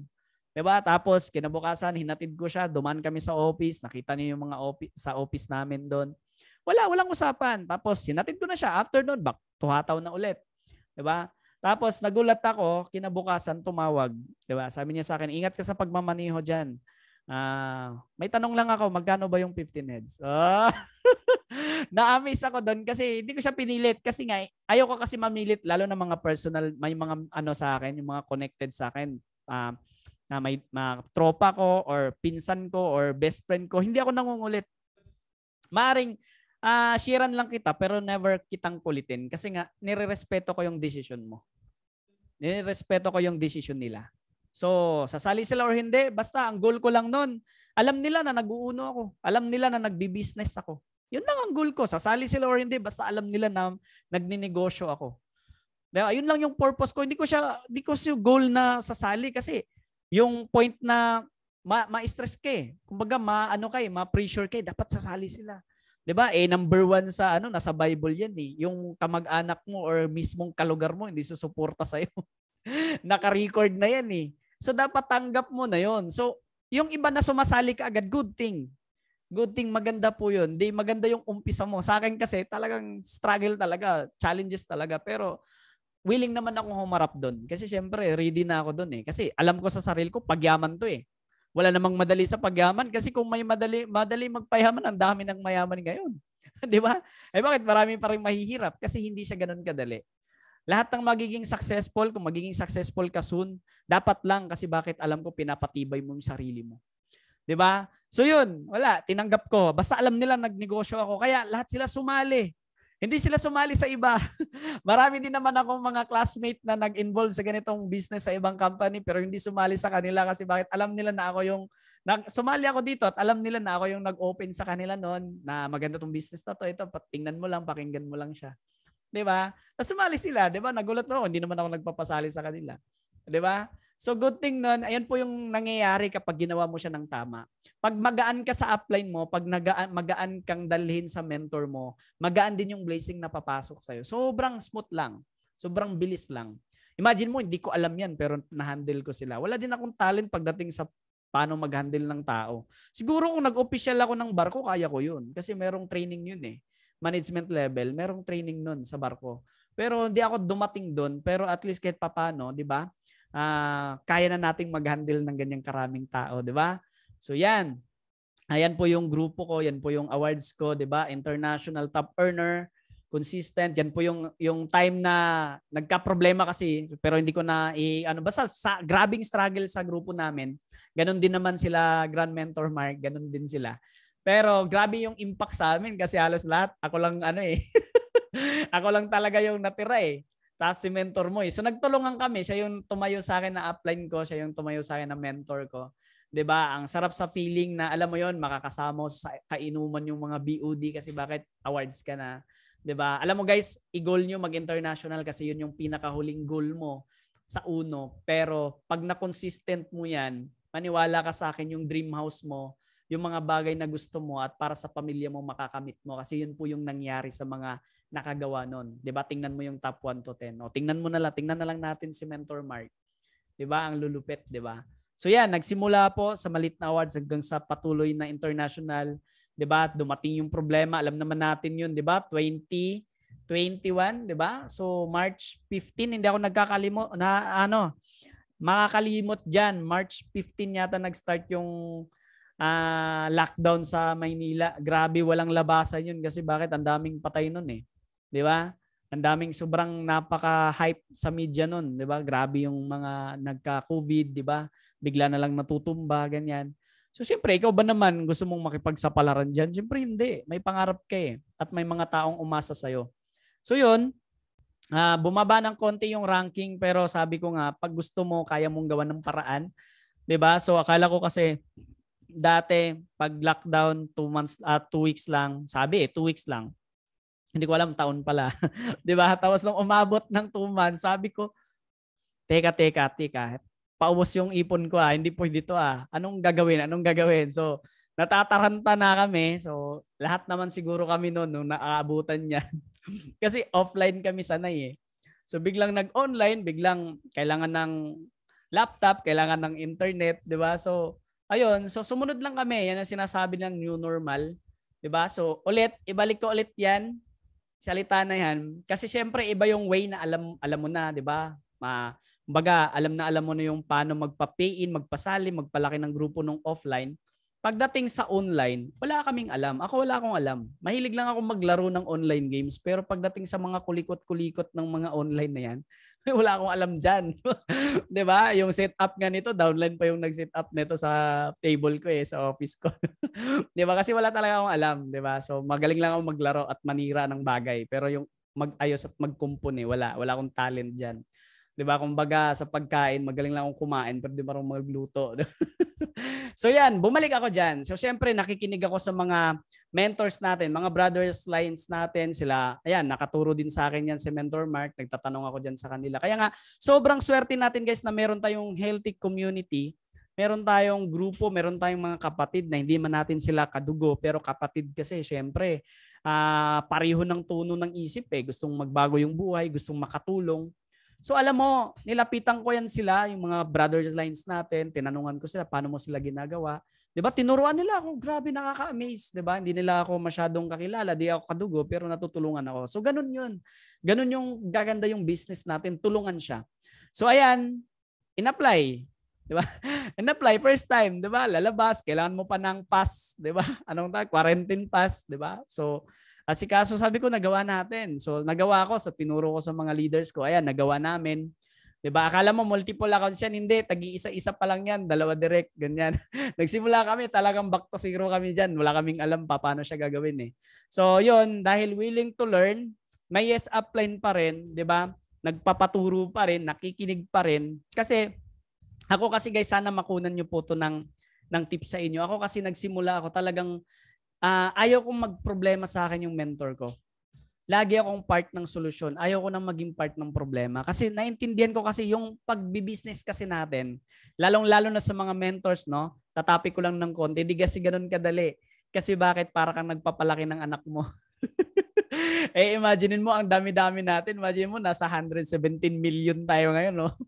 'Di ba? Imaginein mo, 'di ba? Alam ko marami pa diyan, sobra pa kasi yung iba busy pa naman. Imagine mo, yan po yung hinahawakan ni Mentor Mark. 'Di ba? So sobrang stressful niyan, sobrang uh, lalo na kapag may pasaway, 'di ba? Totoo po 'yun. Kaya nga ang tinanim ko sa sarili ko ayoko maging part ng ganun. Gusto kong pag nakita ako ng mentor ko, mabibigyan ko siya ng energy.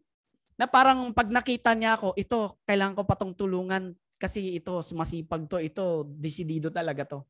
Tapos, pag nakita ko naman yung mentor ko, magbibigay din siya sa akin ng same energy vibes na sobrang positive na, yan si mentor, tutulungan ako. Magtutulungan kami hanggang sa dulo, hanggang sa magtagumpay kami.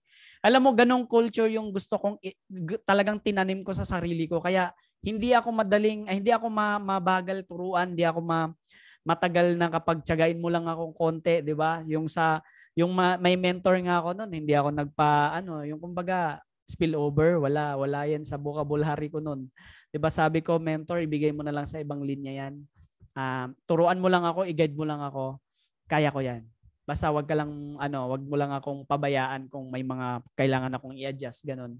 So ganun ako nung nagsimula. So no wonder nagawa ulit, 'di ba? So salamat sa Diyos kasi syempre, 'di ba, nagagawa na namin nakapagpa-pay in. Alam mo ang masarap na part, guys, yan nakapagpasali na kami. Limited lang din yung pasok diyan, yung may mga transaction lang. 'Di ba? Kaya nga, guys, mas maganda i-goal nyo talagang mag-top earner kayo. Practicein niyo muna yung top earner ng hits or sa anong grupo man kayo, 'di ba? Tapos kung may mga top earner man kayo, i-goal mo consistent every month. Hindi dahil sa pera, 'di ba? Kasi yung pera pag hinabol mo, hindi mo mahabol 'yan, guys eh. Ang habulin mo muna is mga awards. Saka na yung pera. Kasi yung pera to the follow na lang 'yan pag may nahit kang awards. 'Di ba? So yan, nag-start ako. So ang ganda ng privilege kasi pag top earner ka, syempre privilege ka, VIP ka diyan sa office, 'di ba? Pag meron kang uh, gustong ipakausap, mapapakinggan ka nila. So yun yung kumbaga privilege, isa sa mga privilege pag international top earner ka. Alam ko naman na marami na ring international top earner dito. Pero kung ikaw bago ka pa lang or ilang buwan ka na, i-goal mo rin yan. Hindi mo naman ibig sabihin na hindi mo kaya kasi nagawa namin kasi malupit kami. Hindi, bago kami naging malupit. 'di ba? Tulad mo rin kaming walang alam, hindi marunong magsalita, marunong mag-explain, nahihiya, 'di ba? Pero kinonquer namin lahat 'yon, 'di ba? Inimprove namin yung sarili namin para mag-improve din yung income namin. So kasi ganun kasi 'yon, 'di ba? So kailangan mo munang uh, i-educate yung sarili mo sa ginagawa mong negosyo, 'di ba? So ayan, na kalahating milyon, 'di ba? Pero wala 'yan sa mga transaction ng mga brother lines natin lalo na sa kay Mentor Mark, 'di ba? So ayan, so alam mo, 'yan, 'yan yung unang income ulit simula nung pandemic, 'di ba? Sabi ko, grabe, after one month, no? After one month pa nagising, 'di ba? After ilang buwan pa ata ako nagising niyan. 'Di ba? Ilang ewan ko basta matagal akong nagtambay eh. Hindi ko na maalala. Alam mo yung 16,000 na 'yan, uh, kinita ko na 'yan, 'di ba? Siyempre before kinita ko na 'yan. Pero alam mo na amaze ako, nasa bahay lang ako niyan. Grabe, cellphone lang yung gamit ko that time. 'Di ba? Kasi trinay ko lang muna eh. 'Di ba? Hindi pa ako marunong gumamit sa laptop noon, paano mag-connect ng speaker, paano magganyan. 'Di ba? Kasi may mga setup eh. 'Di ba? So yan, na-amaze ako kasi bakit nasa bahay lang. Ayan, kumikita tuloy-tuloy kasi tinuloy-tuloy ko siya. Tinuro ko rin sa mga leaders ko sa grupo ko hanggang sa kumita ako ng 8 days. Grabe guys, no? 8 days. ba? So mas na-amaze ako diyan kasi mas kumita ako ng malaki through online tapos nasa bahay lang. 'Di ba? Sobrang sarap sa feeling, guys, kasi bakit pag multiple accounts ka talaga tingnan mo apat na accounts yung kumita ko diyan. Iba, iba ang powerful ng multiple accounts, guys. Iba yun. Talagang sulit yun. Talagang lahat ng pinaghirapan mo, sulit talaga. Worth it talaga siya. Di ba? Gusto nyo rin ba yan? O, paturo kayo sa mentor mo kasi bakit mas kayang ituro ng mentor nyo yan. Sobrang lakas kumita niyan. Di ba? Di ba? Nagpapapicture nga lang ako sa mga income ng million yan, kalating million ni, men- ni mentor Mark eh. 'Di ba? So, ganun kami kapag meron kaming nakita kaki- kaibigan kakilala na kumikita ng malaki, didikit kami kaagad niyan. Makipagkaibigan kami kaagad niyan. Kasi hindi dahil sa yung iba kasi pag nakita nilang mas malaki kumita yung mas mas bago sa kanila, parang nahiyang lumapit. Huwag kang mahiya. Kasi bakit negosyo mo yan? Kailangan mong matutunan talaga. Baka meron siyang alam na hindi mo pa alam. Kailangan mong alamin. So para malaman mo, magtanong ka. Kasi pag hindi ka magtanong, siyempre hindi ibibigay sa'yo yung sagot. 'Di ba? Pag hindi nagtanong, hindi nagsipag sa kakatanong, walang sagot na mahahanap sa mga katanungan mo sa sa utak mo. So gano'n, nagtatanong ako. So yun, in-apply ko siya. Ayan, nakabawi, 'di ba? Nakabawi, pero dulo pa rin. Pero at least okay lang kasi nakabawi siya nakahabol. Tapos yan, isa sa mga quotes ko, when I stop my excuses, I found my result. 'Di ba? Dumami ulit, 'di ba? Alam mo dati nag-start kami nung pandemic, 'di ba? Ma, nag nag ano ako eh, nagtagal ako bago bumalik kasi akala ko kasi babalik agad eh. May ipon pa naman, may pera pa naman, okay lang. Chill-chill lang muna. Pero syempre, inaasikaso ko rin yung mga tao hanggang yung iba hindi na nila kinaya. 'Di ba? So, kumbaga bumalik sila sa buhay nila or naghanap sila ng ibang ano. Ako naman, uh, talagang inaral ko siya ulit. 'di ba? So, sampu lang kami nag-start, pero ngayon grabe, mag 100 na kami. 'Di ba? So, kumbaga, lahat ng bagay, sakripisyo, lahat ng pagod mo, meron 'yan. Tandaan mo, wala mang nakakita sa iyo, pero tandaan mo merong isang tao sa taas na nakakakita talaga sa iyo. Lahat ng sakripisyo mo, lahat ng dalangin mo, lahat ng pinagdadaanan mo, huwag kang mag-alala may break ka rin na darating para sa'yo. At pag dumating yon payo ko sa'yo, wag mong sayangin. May tinatawag tayong mo zone or momentum zone. Talagang naranasan nyo ba yon? Siguro kung hindi ka pa nakaranas nito, 'di ba? Yung tipong mag-high ka lang pay na. Gusto niyo ba yon? Yun yung momentum. Grabe yon. Pag na-experience mo na yon, wag mo nang pigilan. Wag mo nang tatamarin ka, chill ka kasi may pera ka, maray check mo, okay yung grupo mo, nagpapapain, wag. Pag dumating sa iyo yon, pokpokin mo ng pokpokin pa, bakbak pa ng bakbak, trabahuin mo pa, sipagan mo pa. Bakit? Grabe. Maniwala ka sa akin, hindi ko alam kung anong mararating mo dito kapag sinipagan mo talaga. So yan po yung nangyari sa akin, 'di ba? Tinuloy ko lang hanggang nakabawi, 'di ba? Sawa ni Lord nakabawi. 'Di ba? Ayan. So isa yan sa mga resulta na talagang uh, hindi basta-basta kasi kumita na tapos nawala ulit ang income kasi may mga pandemic na dumating, may mga challenges na dumating, maraming mga problema. Pero ako kasi talagang na-inform ako na wag mag-focus sa problema, focus sa solusyon. Kasi sa pagproblema ang pinupokusan mo guys, mas lalo kang malalanta, mas lalo kang mahihirapan. Tandaan mo, what your mind can conceive, your body can achieve. Kung ano yung finifeed mo sa utak mo, kapag lagi mong sinasabi sa sarili mo, hindi ko kaya yan, hindi mo talaga kaya indeed, period, hindi mo talaga kaya. Pero kahit alam mong wala kang capacity na makakaya mo, pero lagi mong ini-insist sa utak mo, binubulungan mo yung sarili mo na kaya mo yan, kaya ko yan, kayang-kaya ko to. Nandiyan naman si Lord, nandiyan naman yung grupo, nandiyan naman eh. Okay pa naman ako, kaya ko to. Maniwala ka sa akin, matuturn into positive lahat ng negative na nakapaligid sa'yo. So kailangan ma-master nyo yun guys, di ba? Dapat lagi ka lang masaya. Kahit uh, may pinagdadaanan ka man ngayon na sobrang hirap ngumiti, okay, damdamin mo, seconds, minutes. Pero wag yung araw, wag yung linggo, wag yung buwan. Kasi bakit? Maniwala ka sa akin kahit pagbigyan mo yan. Alam mo, ganun naman ugali natin, eh, lalo na mga Pilipino. Ganun yan eh. Alam mo, pag nagka-problema, nabigo, di ba? Talagang namnamin yan eh. Talagang, talagang namnamin yung sakit eh. 'Di ba? Talagang sige pa, saktan mo pa ako, i-imaginein, iisipin ng isipin. Pero mark, mark my word, pagkatapos na maka-move on ka na, pagkatapos na, okay, okay na ako, laban na ulit. Di ba lalabang ka pa rin ulit? Di ba babangon ka pa rin ulit? Yun nga lang napatagal. Kaya nga, dito, i-conquer mo yung sarili mo, lalo na yung emotion mo. Kasi wala, talo ka pag ma-emotion ka dito. Kapag nireject ka ng mga kaibigan mo, okay lang. Tandaan mo, some will join, some will not. So what? Someone's waiting. Doon ka mag-focus. Meron at meron yan. Alam mo, kapag masipag kang mag, ano, mag, magpasali, kumausap, talagang mamamaster mo. Magugulat ka, madidevelop yung totoong potential mo. Kasi meron kasi tayong differences, uh, meron kasi tayong mga different versions of our lives. Eh. Meron tayong pinakamababang version natin, meron tayong katamtaman lang, meron tayong mas mayaman na version, meron tayong malupit na version, meron tayong masamang version. Pero kung ano man yung meron ka ngayon na version mo, meron pa yang i-improve. Basta, ang i-feed mo palagi sa isip mo is positive. Okay, so, grabe, ups and down ang kwento ko dito sa Uno, pero isa ako sa talagang proud din sa sarili ko na nakayanan ko lahat yun. 'Di ba? So syempre, hindi ko naman kayang mag-isa, nandyan yung partner ko, nandyan yung uh, si Lord. Lagi akong nagdadasal diyan. Syempre, lahat ng bagay kapag ka ipagdasal mo na, talagang worth it talaga, talagang mangyayari. Hindi man agad-agad, pero tsatsagain mo lang, darating din talaga siya. So ayan, nakabili ng pangalawang kotse, 'di ba? So, kumbaga, wala akong planong magbili niyan. 'Di ba? Kasi pandemic, di naman magagamit. Pero sabi ng baby ko, bili tayo new car, 'di ba? So, 'yan, bili ako, 'di ba? Siyempre, mahal ko 'yan, 'di ba? Kayo kaya, 'di ba? Ang pangarap nga nito Raptor eh. Daddy, bili Raptor. Sige, yataw muna kami. Sabi nga, good yan, good. ang kulit ng mga batang networker ngayon, eh, no? Alam na alam na nila yung salitang hataw. Alam na alam na nila yung salitang milyon, di ba? ang kulit eh. Ang goal ko nga ngayon sa sa mag mag-partner kami, goal namin na uh, bigyan namin siya ng cheque ng pangalan niya. Kasi actually hindi lang naman ako yung nagplano noon.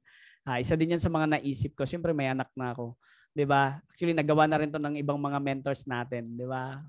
So, yun, na-amaze lang ako. Sabi ko, nga, no, maganda pala yun. tapos turuan kong mag-advise. Di ba, masaya lang. Kasi syempre, bata pa lang, tapos mag-share sa ganito, no, sa Zoom. Oh, Bing, ano, kasi Bibi kasi yung tawag ko dyan. No, Bing, ano, mag-share ka na. ano kayang mangyayari sa iba? Siyempre, ma-inspire, di ba? So, nakaka-amaze lang, nakaka-excite. Di ba? So, ayan, uh, isa sa mga natulungan ko, di ba, nag-submit, nagpatulong. So, yan po yung mga leaders ko ngayon. Di ba? Actually, nine yan sila. Pero yan pa lang po yung mga talagang nakakasunod pa tapos yung iba nag adjust pa siya. So ang advice ko naman sa iyo kung halimbawa leader ka, huwag kang magsawang makinig sa mentor mo talaga. Ah, kahit darating yung time na parang nagsawa ka na. 'Di ba kasi ilang taon na kayo nagsama, ilang ilang araw na kayo lagi kayong magkausap. 'Di ba? Minsan dumating yung time na magiging acne na tayo, parang too much familiarity na. Pero alam mo, ang gagawin mo lang, swerte ka pa rin kasi may upline ka. Ako kasi wala na eh, di ba? Mahirap kasi pag walang upline, talaga, sobra. Kasi si mentor mo eh, may ibang grupo naman yun. Focus lang yun sa grupo niya. Kasi ayaw, kung ngayong tipong tao, na kapag leader mo ako, wag mo na akong isipin. Di ba? Wag mo na akong isipin na uh, ayaw ko nang mag, ano, magbigay sa'yo ng burden pa. So talagang gagawin ko lahat, step up, lahat makakaya ko para makapag-contribute, makapag-produce sa grupo, para makatulong. Yun po yung mindset ko talaga. So, ang nakakalungkot lang na part kasi syempre iba pa rin pag may upline kayo, 'di ba? Yun yung konting may konting kurot sa iyo, 'di ba? Sorry sa words ha, mga konting mura. pag nakita niyang nag nagpipetex ka na, nagchichill ka na, 'di ba? may mga paalala 'yan. Sobrang sarap, nami-miss ko 'yun kasi yung mentor ko kasi babae 'yon. Sobrang napaka-brutal nun. napaka ano nun, tigre 'yun, 'di ba? Sobrang lupit nun. Na-miss ko lang. So, sobrang thankful kayo na meron kayong mga mentors na nag-aalaga sa iyo. Please appreciate it, guys. 'Di ba? Kahit yung mentor mo hindi pa rin kumikita ng malaki, kahit hindi pa naka na ay, wala ka pang nakitang resulta, always respect, 'di ba? Laban respect para at least magkakaroon ng harmonious yung relationship ng bawat ano, bawat business partners, 'di ba? Uh, totoo naman 'yon na bilang isang mentor, or upline. Wala naman talaga kaming ituturong mali sa mga business partners namin. Kung kaya nga namin na wag na, na wag na kayong dumaan sa mga hirap na pinagdadaanan namin eh. Kung kaya ko lang na alam ko ganun din yung nasa isip ni Mentor Mark na kaya lang niyang ipakita sa iyo yung nakikita niya 'di ba? Iparamdam sa iyo yung nararamdaman niya. Kung kaya nga lang yung memory namin, na Bluetooth, 'di ba? Bluetooth na namin eh.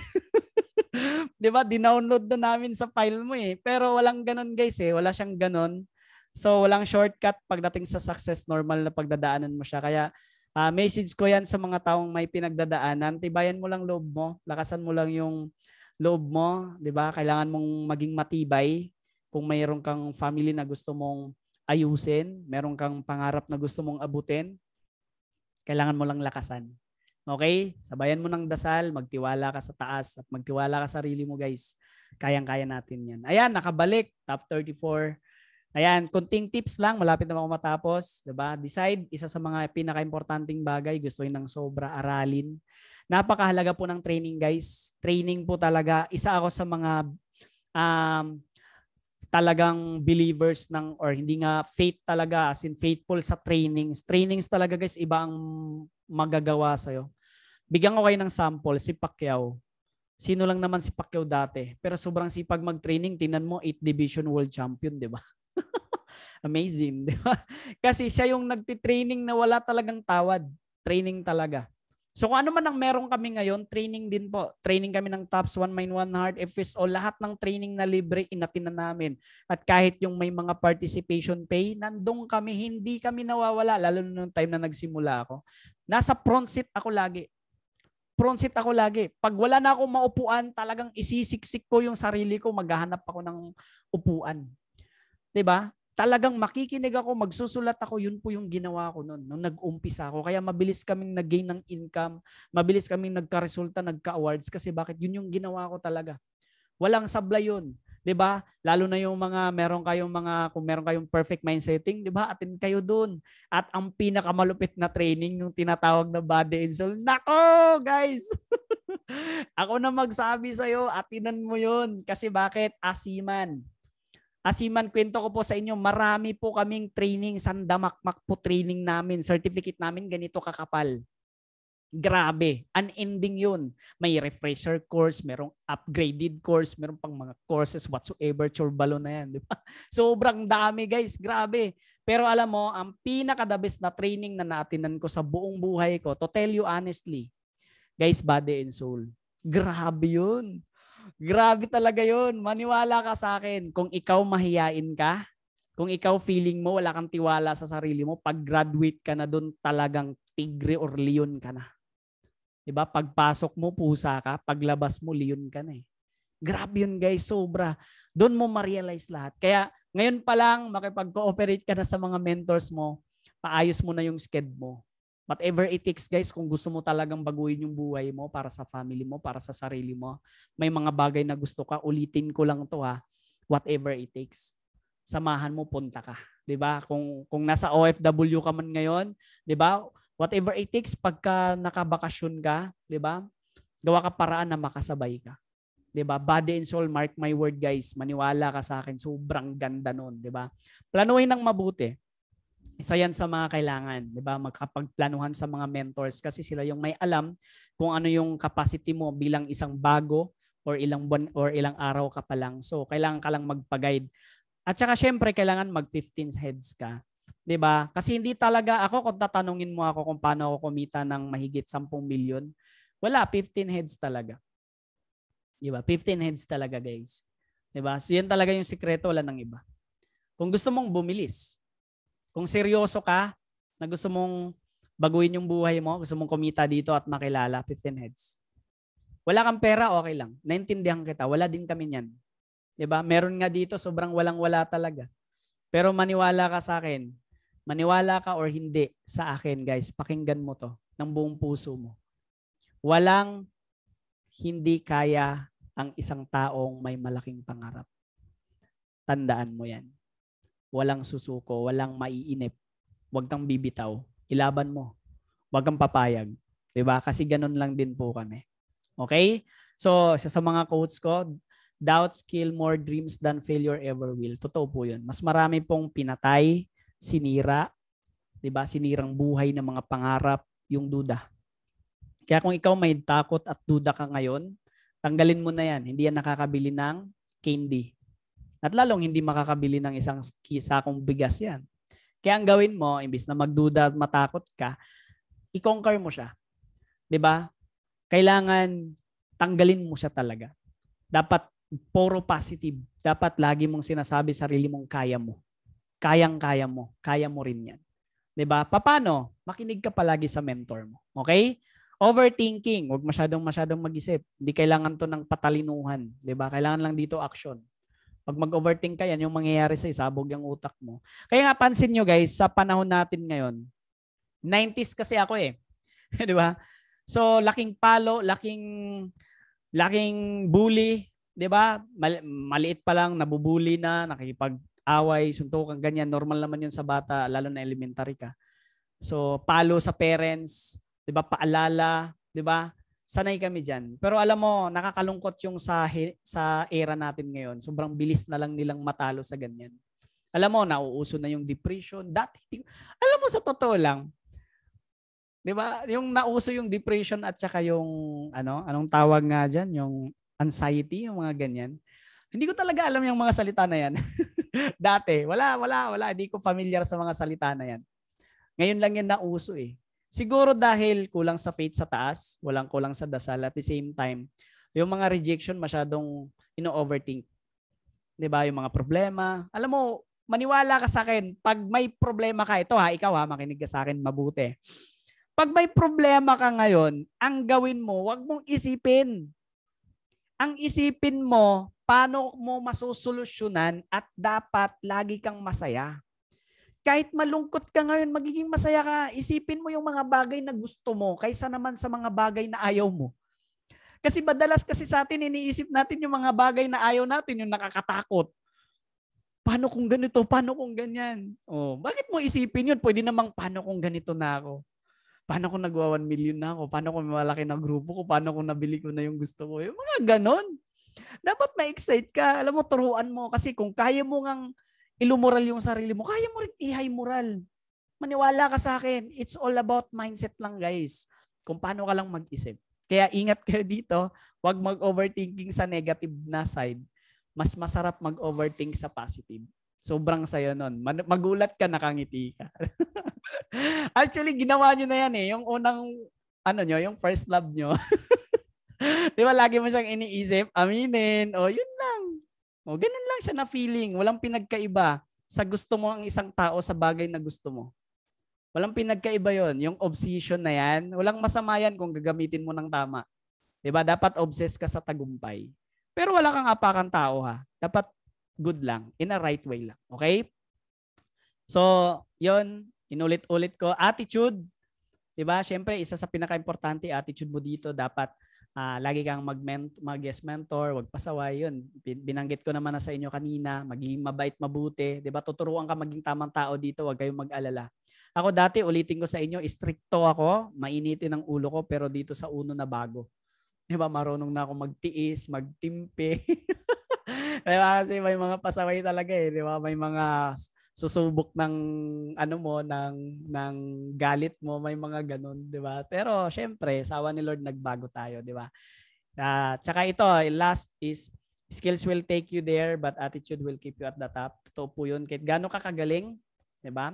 So sana isa din to sa mga maalala nyo. Kahit gaano ka kagaling gagaling ka man kay mentor Mark or sa mga leaders mo sa mga mentor mo always keep your feet on the ground. 'di ba?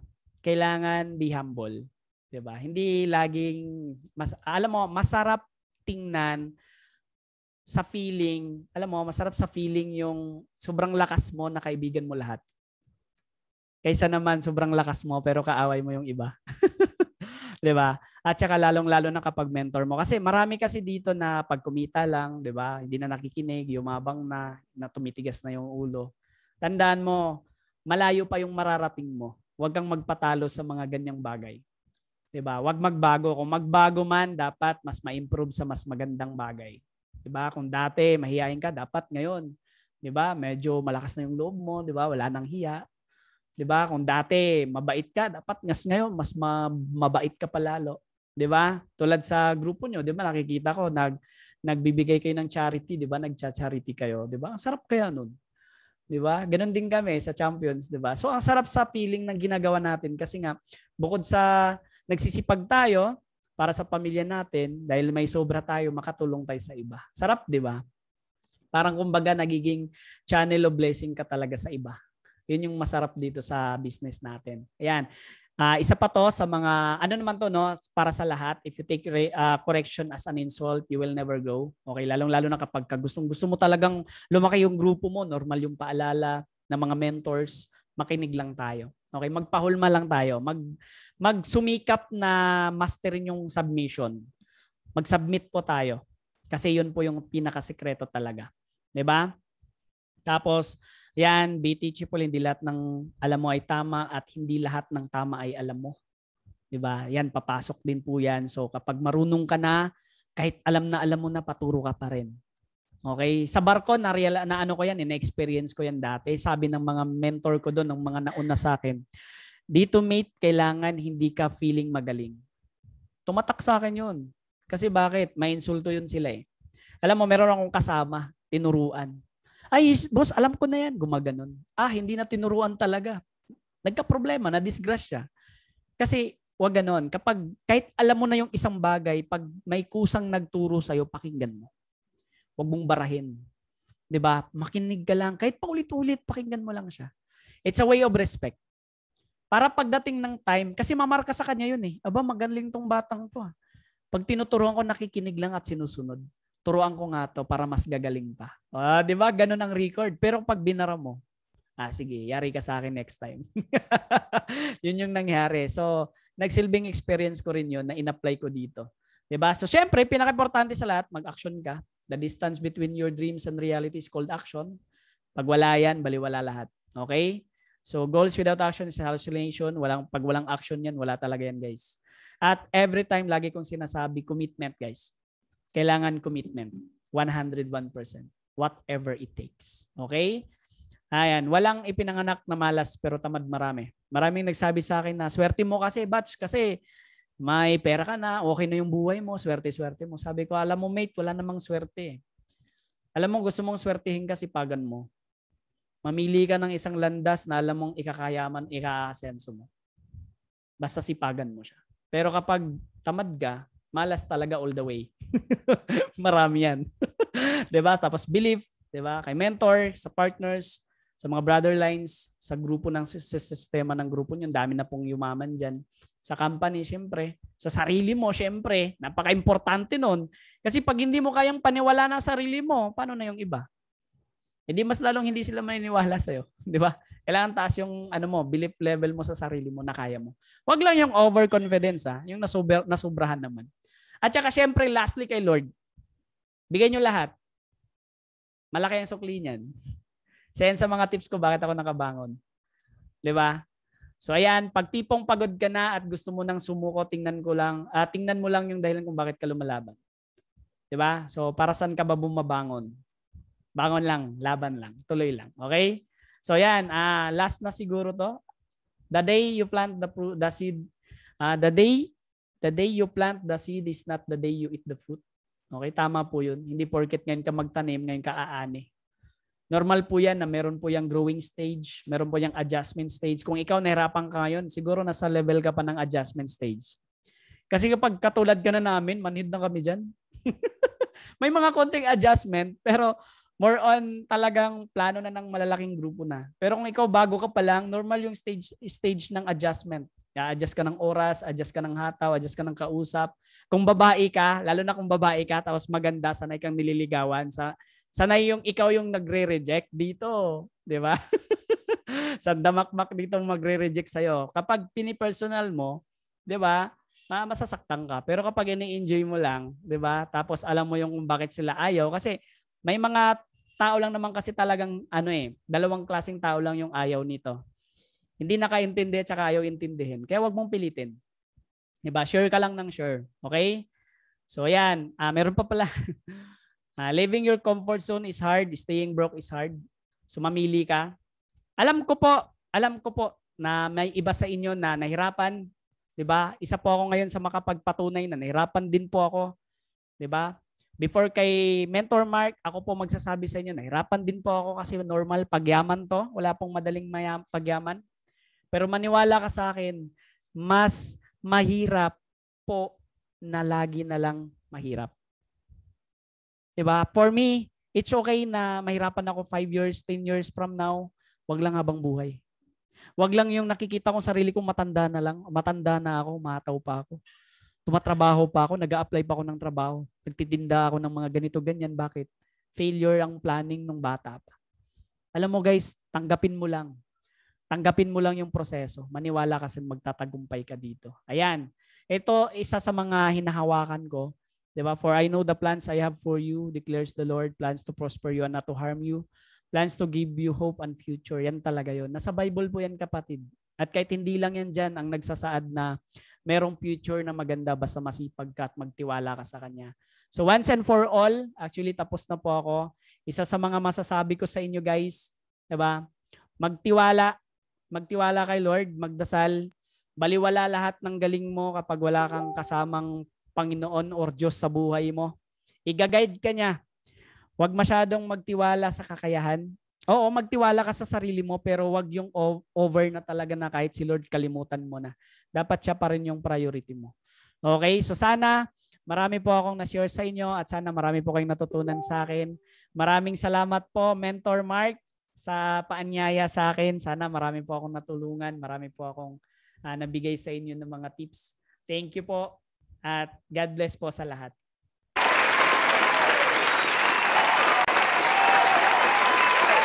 Ayun, maraming maraming salamat. Upwindel, grabe. Actually, uh, na-refresh ako sa lahat ng mga naging sharing ni ano ni Upline Windel eh. Kasi nakita ko rin yung ano eh, yung sa may Ortigas time, di ba, kung paano talaga nag-start and super inspired and then motivated talaga yung naibahagi mo sa amin. Plus, may bonus pang learnings talaga.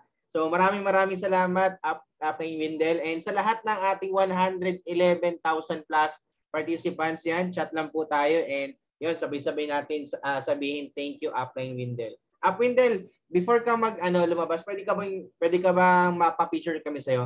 Magpa-picture. Yan. Sige po, mentor. Yan, sige sige sige. Ayan. So, i-add lang natin si Coach LP para, yan. So, yun. Picture po muna tayo. Uh, sign lang tayo ng 4, up winded. 4, yan. So, yan. 1, 2, 3, smile. Okay, papaste ko lang po para sigurado. Yan. Grid view na, grid view. So, first page.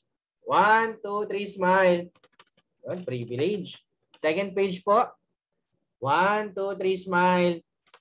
O, di ba? Ganda pag marami naka-open camera eh. One, two, three, smile. Ala, four page, one, two, three, smile. And last page po, one, two, three, smile. Alright. Ayun. Upline Windel, maraming maraming salamat sa iyong pag-share po sa amin. Di ba? Grabe, super inspiring and then motivating. So, yun. Ap, salamat po. Uh, bawi ako sa iyo ulit. Oo, bawi ako sa iyo. Salamat, Ap, ha? Salamat po, mentor. Salamat, guys. Thank you. Yes, Ap. Maraming maraming salamat, Ap. Bye po. Bye-bye. thank you, Ap. Thank you. Yun. Grabe. Actually, uh, alam mo yung ano, alam mo yung habang nagkikwento si Upline Windel kanya, si Coach Windel, uh, yun yan, sinabi ko nga po kanina, no, super inspired and then talagang na-refresh ako sa mga binahagi po niya. And hindi uh, hindi naman po lingid sa kaalaman ng lahat no. So si Upline Windel kasi isa yan sa mga kabatch ko sa Ortigas time.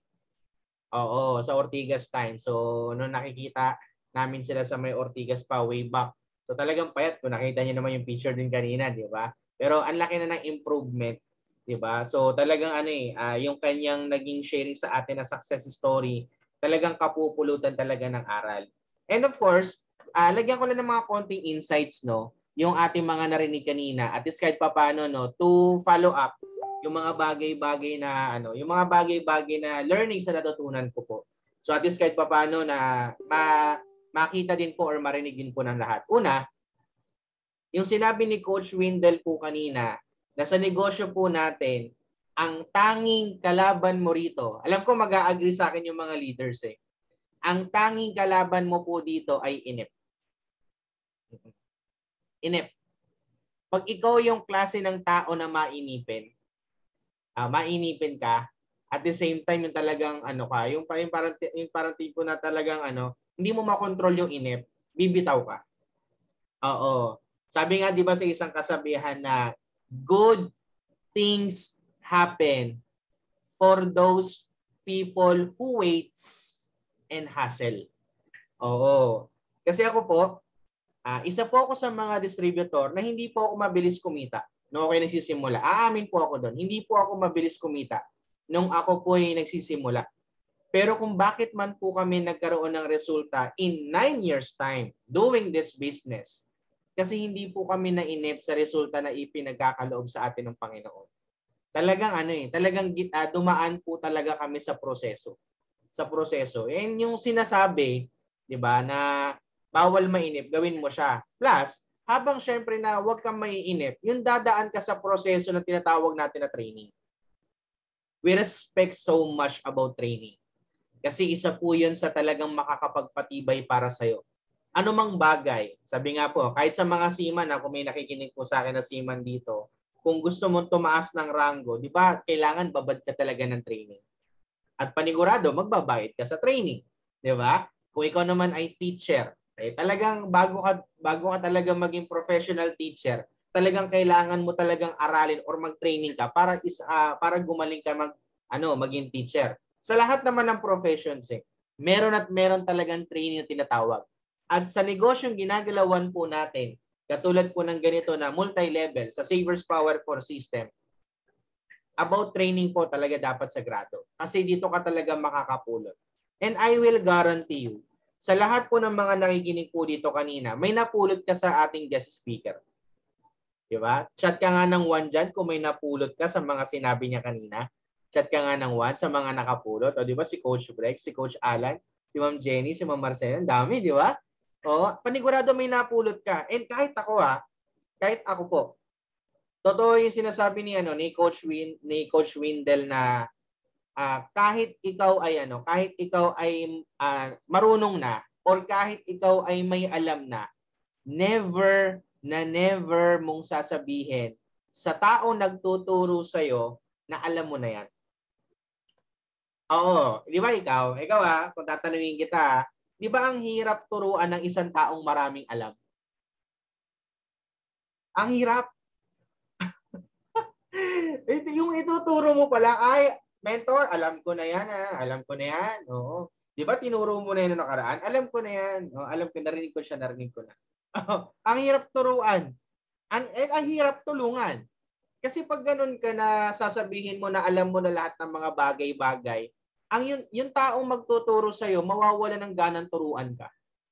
Oo, tama yung sinabi ni Coach Windel na kahit alam mo na yung isang bagay, mas lalo ka pa maging humble kasi dapat uhaw ka pa rin sa kaalaman kasi baka meron pang bago ituturo yung tao nagtuturo para sa iyo.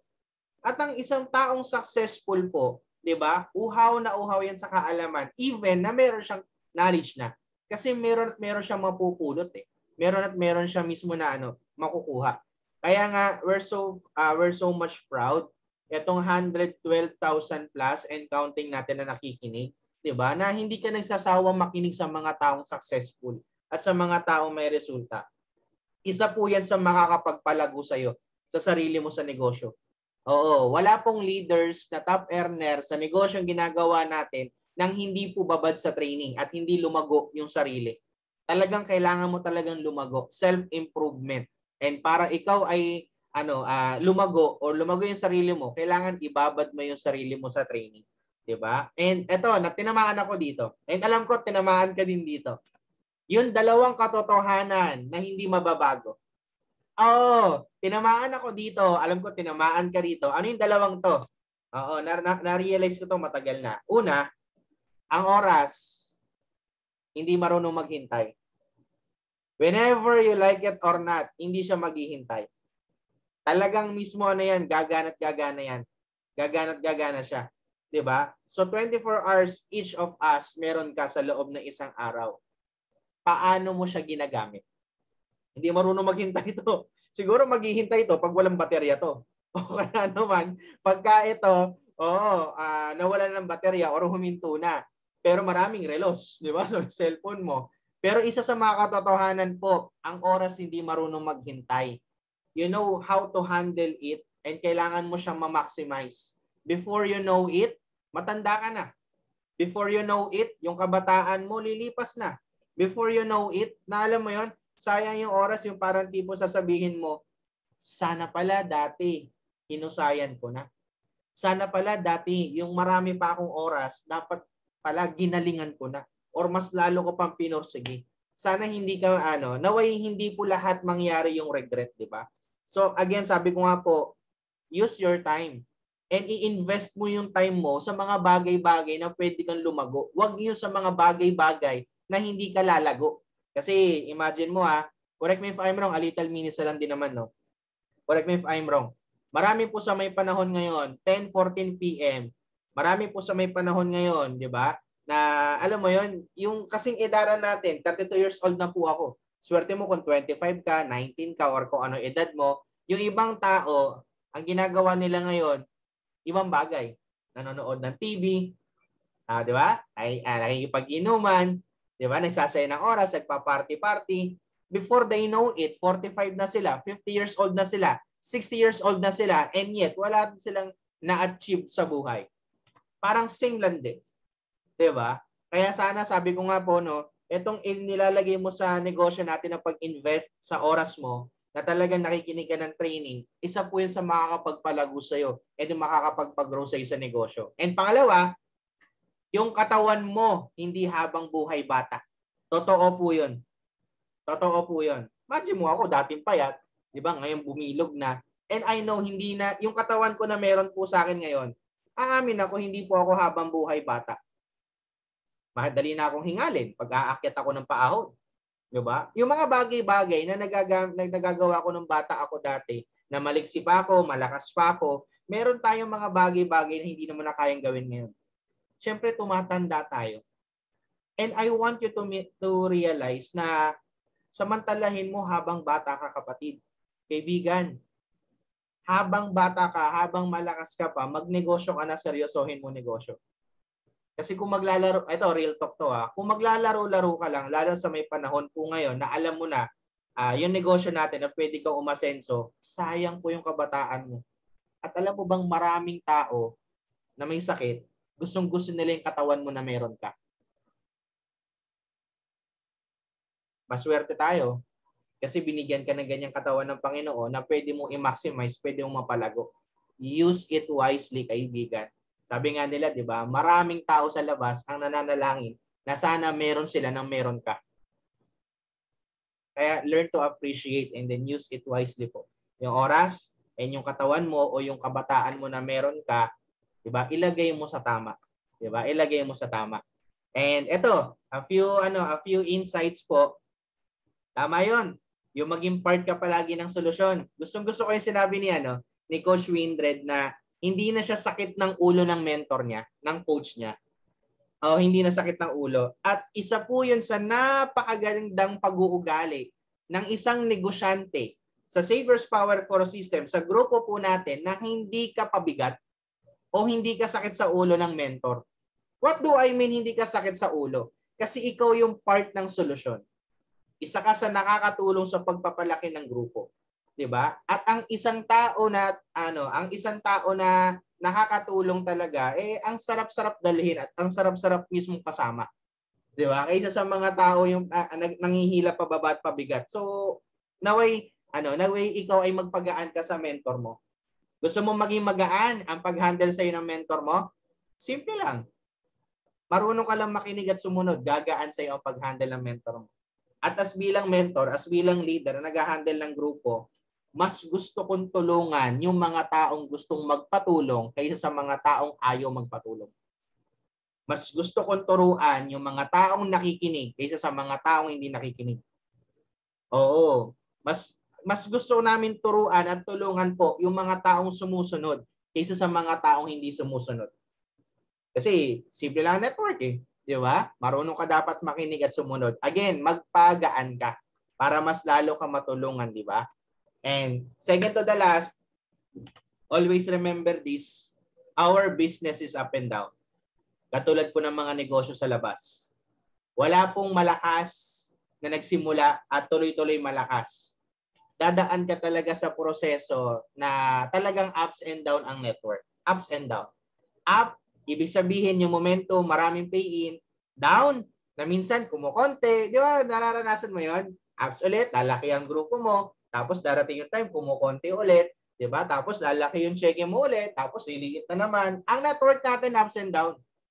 Always remember that. Nung, nung hindi ko maunawaan 'yon, nung hindi ko maunawaan 'yon, nagtatanong ako, ah, bakit ganon? Ang laki ng grupo ko, ang laki ng check ko, 'di ba? Pero bakit ganon? Parang tipo na bakit wala ulit? That time, hindi ko pa kasi nauunawaan yung up and down na ang network eh, ang negosyo. Nung naunawaan ko siya, doon ko po na-realize na kahit up and down ang network, ang mahalaga, consistent mong ginagawa. Kasi whenever you like it or not, from the point A up to point B, kung nasaan yung resulta mo, kung titingnan mo, malayo na narating mo kahit up and down ang network mo. And then panigurado, may resulta ka na nakukuha. Basta maging consistent ka at tuloy-tuloy mong ginagawa. 'Di ba? Uh, in nine years time ko po na ginagawa ang negosyo, marami na po akong nakita ng mga taong malalakas kumita nagsimula. Pero wala na ngayon. Pero marami din ako nakita na wala naman kinikita nung simula. Pero dahil nagtuloy-tuloy, grabe po ngayon ang resulta at kinikita. Kaya kaibigan, magtuloy-tuloy ka. Kumapit ka. Samahan mo kami. 'Di ba? I-cherish mo. I-value mo yung mga tao na sa may paligid mo at tutulong sa iyo para ikaw ay umasenso. Huwag mong baliwalain. Ihalubilo mo, magtanong ka, dumikit ka, at sumama ka sa mga taong makakatulong para ikaw ay umasenso. 'Di ba? Lalo na sa panahon po ngayon, 18 plus years old ka na sa mga nakikinig po sa akin, dapat alam mo kung sino yung mga taong sasamahan mo at didikitan mo. Kasi bakit? 'Di ba? Sa 32 years old na meron ako, nasa kalagitnaan na po ako ng edad. Kaya kailangan talaga na kasama ko po yung mga tao na ang willing talaga ay umasenso at magpayaman. Kaya ka sumasama tayo at dumidikit tayo sa mga taong ano eh. Uh, ang mindset is umasenso at magpayaman. Kasi whenever you like it or not, mahahawa at mahahawa ka. Di ba? And then lastly, Walang hindi kaya ang isang taong may malaking pangarap. Mm-hmm. Kahit hindi mo kaya, may nakita nga ako dito kanina ba, mahihain daw siya. Pero kapatid, lahat din po nagsimula pagiging mahihain. Pero again, para ikaw ay ma-develop, ibabad ang sarili sa training and then i-apply yung bawat natututunan and then dapat marunong kang makinig at sumunod sa iyong mentor at sa sistema ng ating grupo, mag-grow at mag-grow ka dito. Oo, mag-grow, mag-grow ka. Mahaba pa ang panahon ng ating pagsasamahan. Marami pa tayong mga taong tutulungan. Kaya hanggat maaari, huwag kang titigil. Kumapit ka palalo. Samahan mo kami at maging instrumento ka, maging blessing sa mas marami pa mga tao. Hindi ka nandito, 'di ba? Hindi ka hindi pinakita sa iyo ng Panginoon ang Savior's Power for System para sa wala lang. Pinakita sa iyo ang uno, ang Savior's Power for System para maging instrumento. Gamitin mo po 'yun. Na ano na, na gamitin mo po 'yun yung yung pagkalulu pagkaluklok sa iyo. Sabi nga ni Coach LP kanina, 'di ba? Kung bakit ka nandito kasi may purpose ka. At the same time, maging blessings tayo sa mas marami pang mga tao. So again, ayun lang naman yung ating ano, yung ating ano uh, training. So before ako mag-end, mag-reminders lang po ako, mabilis lang.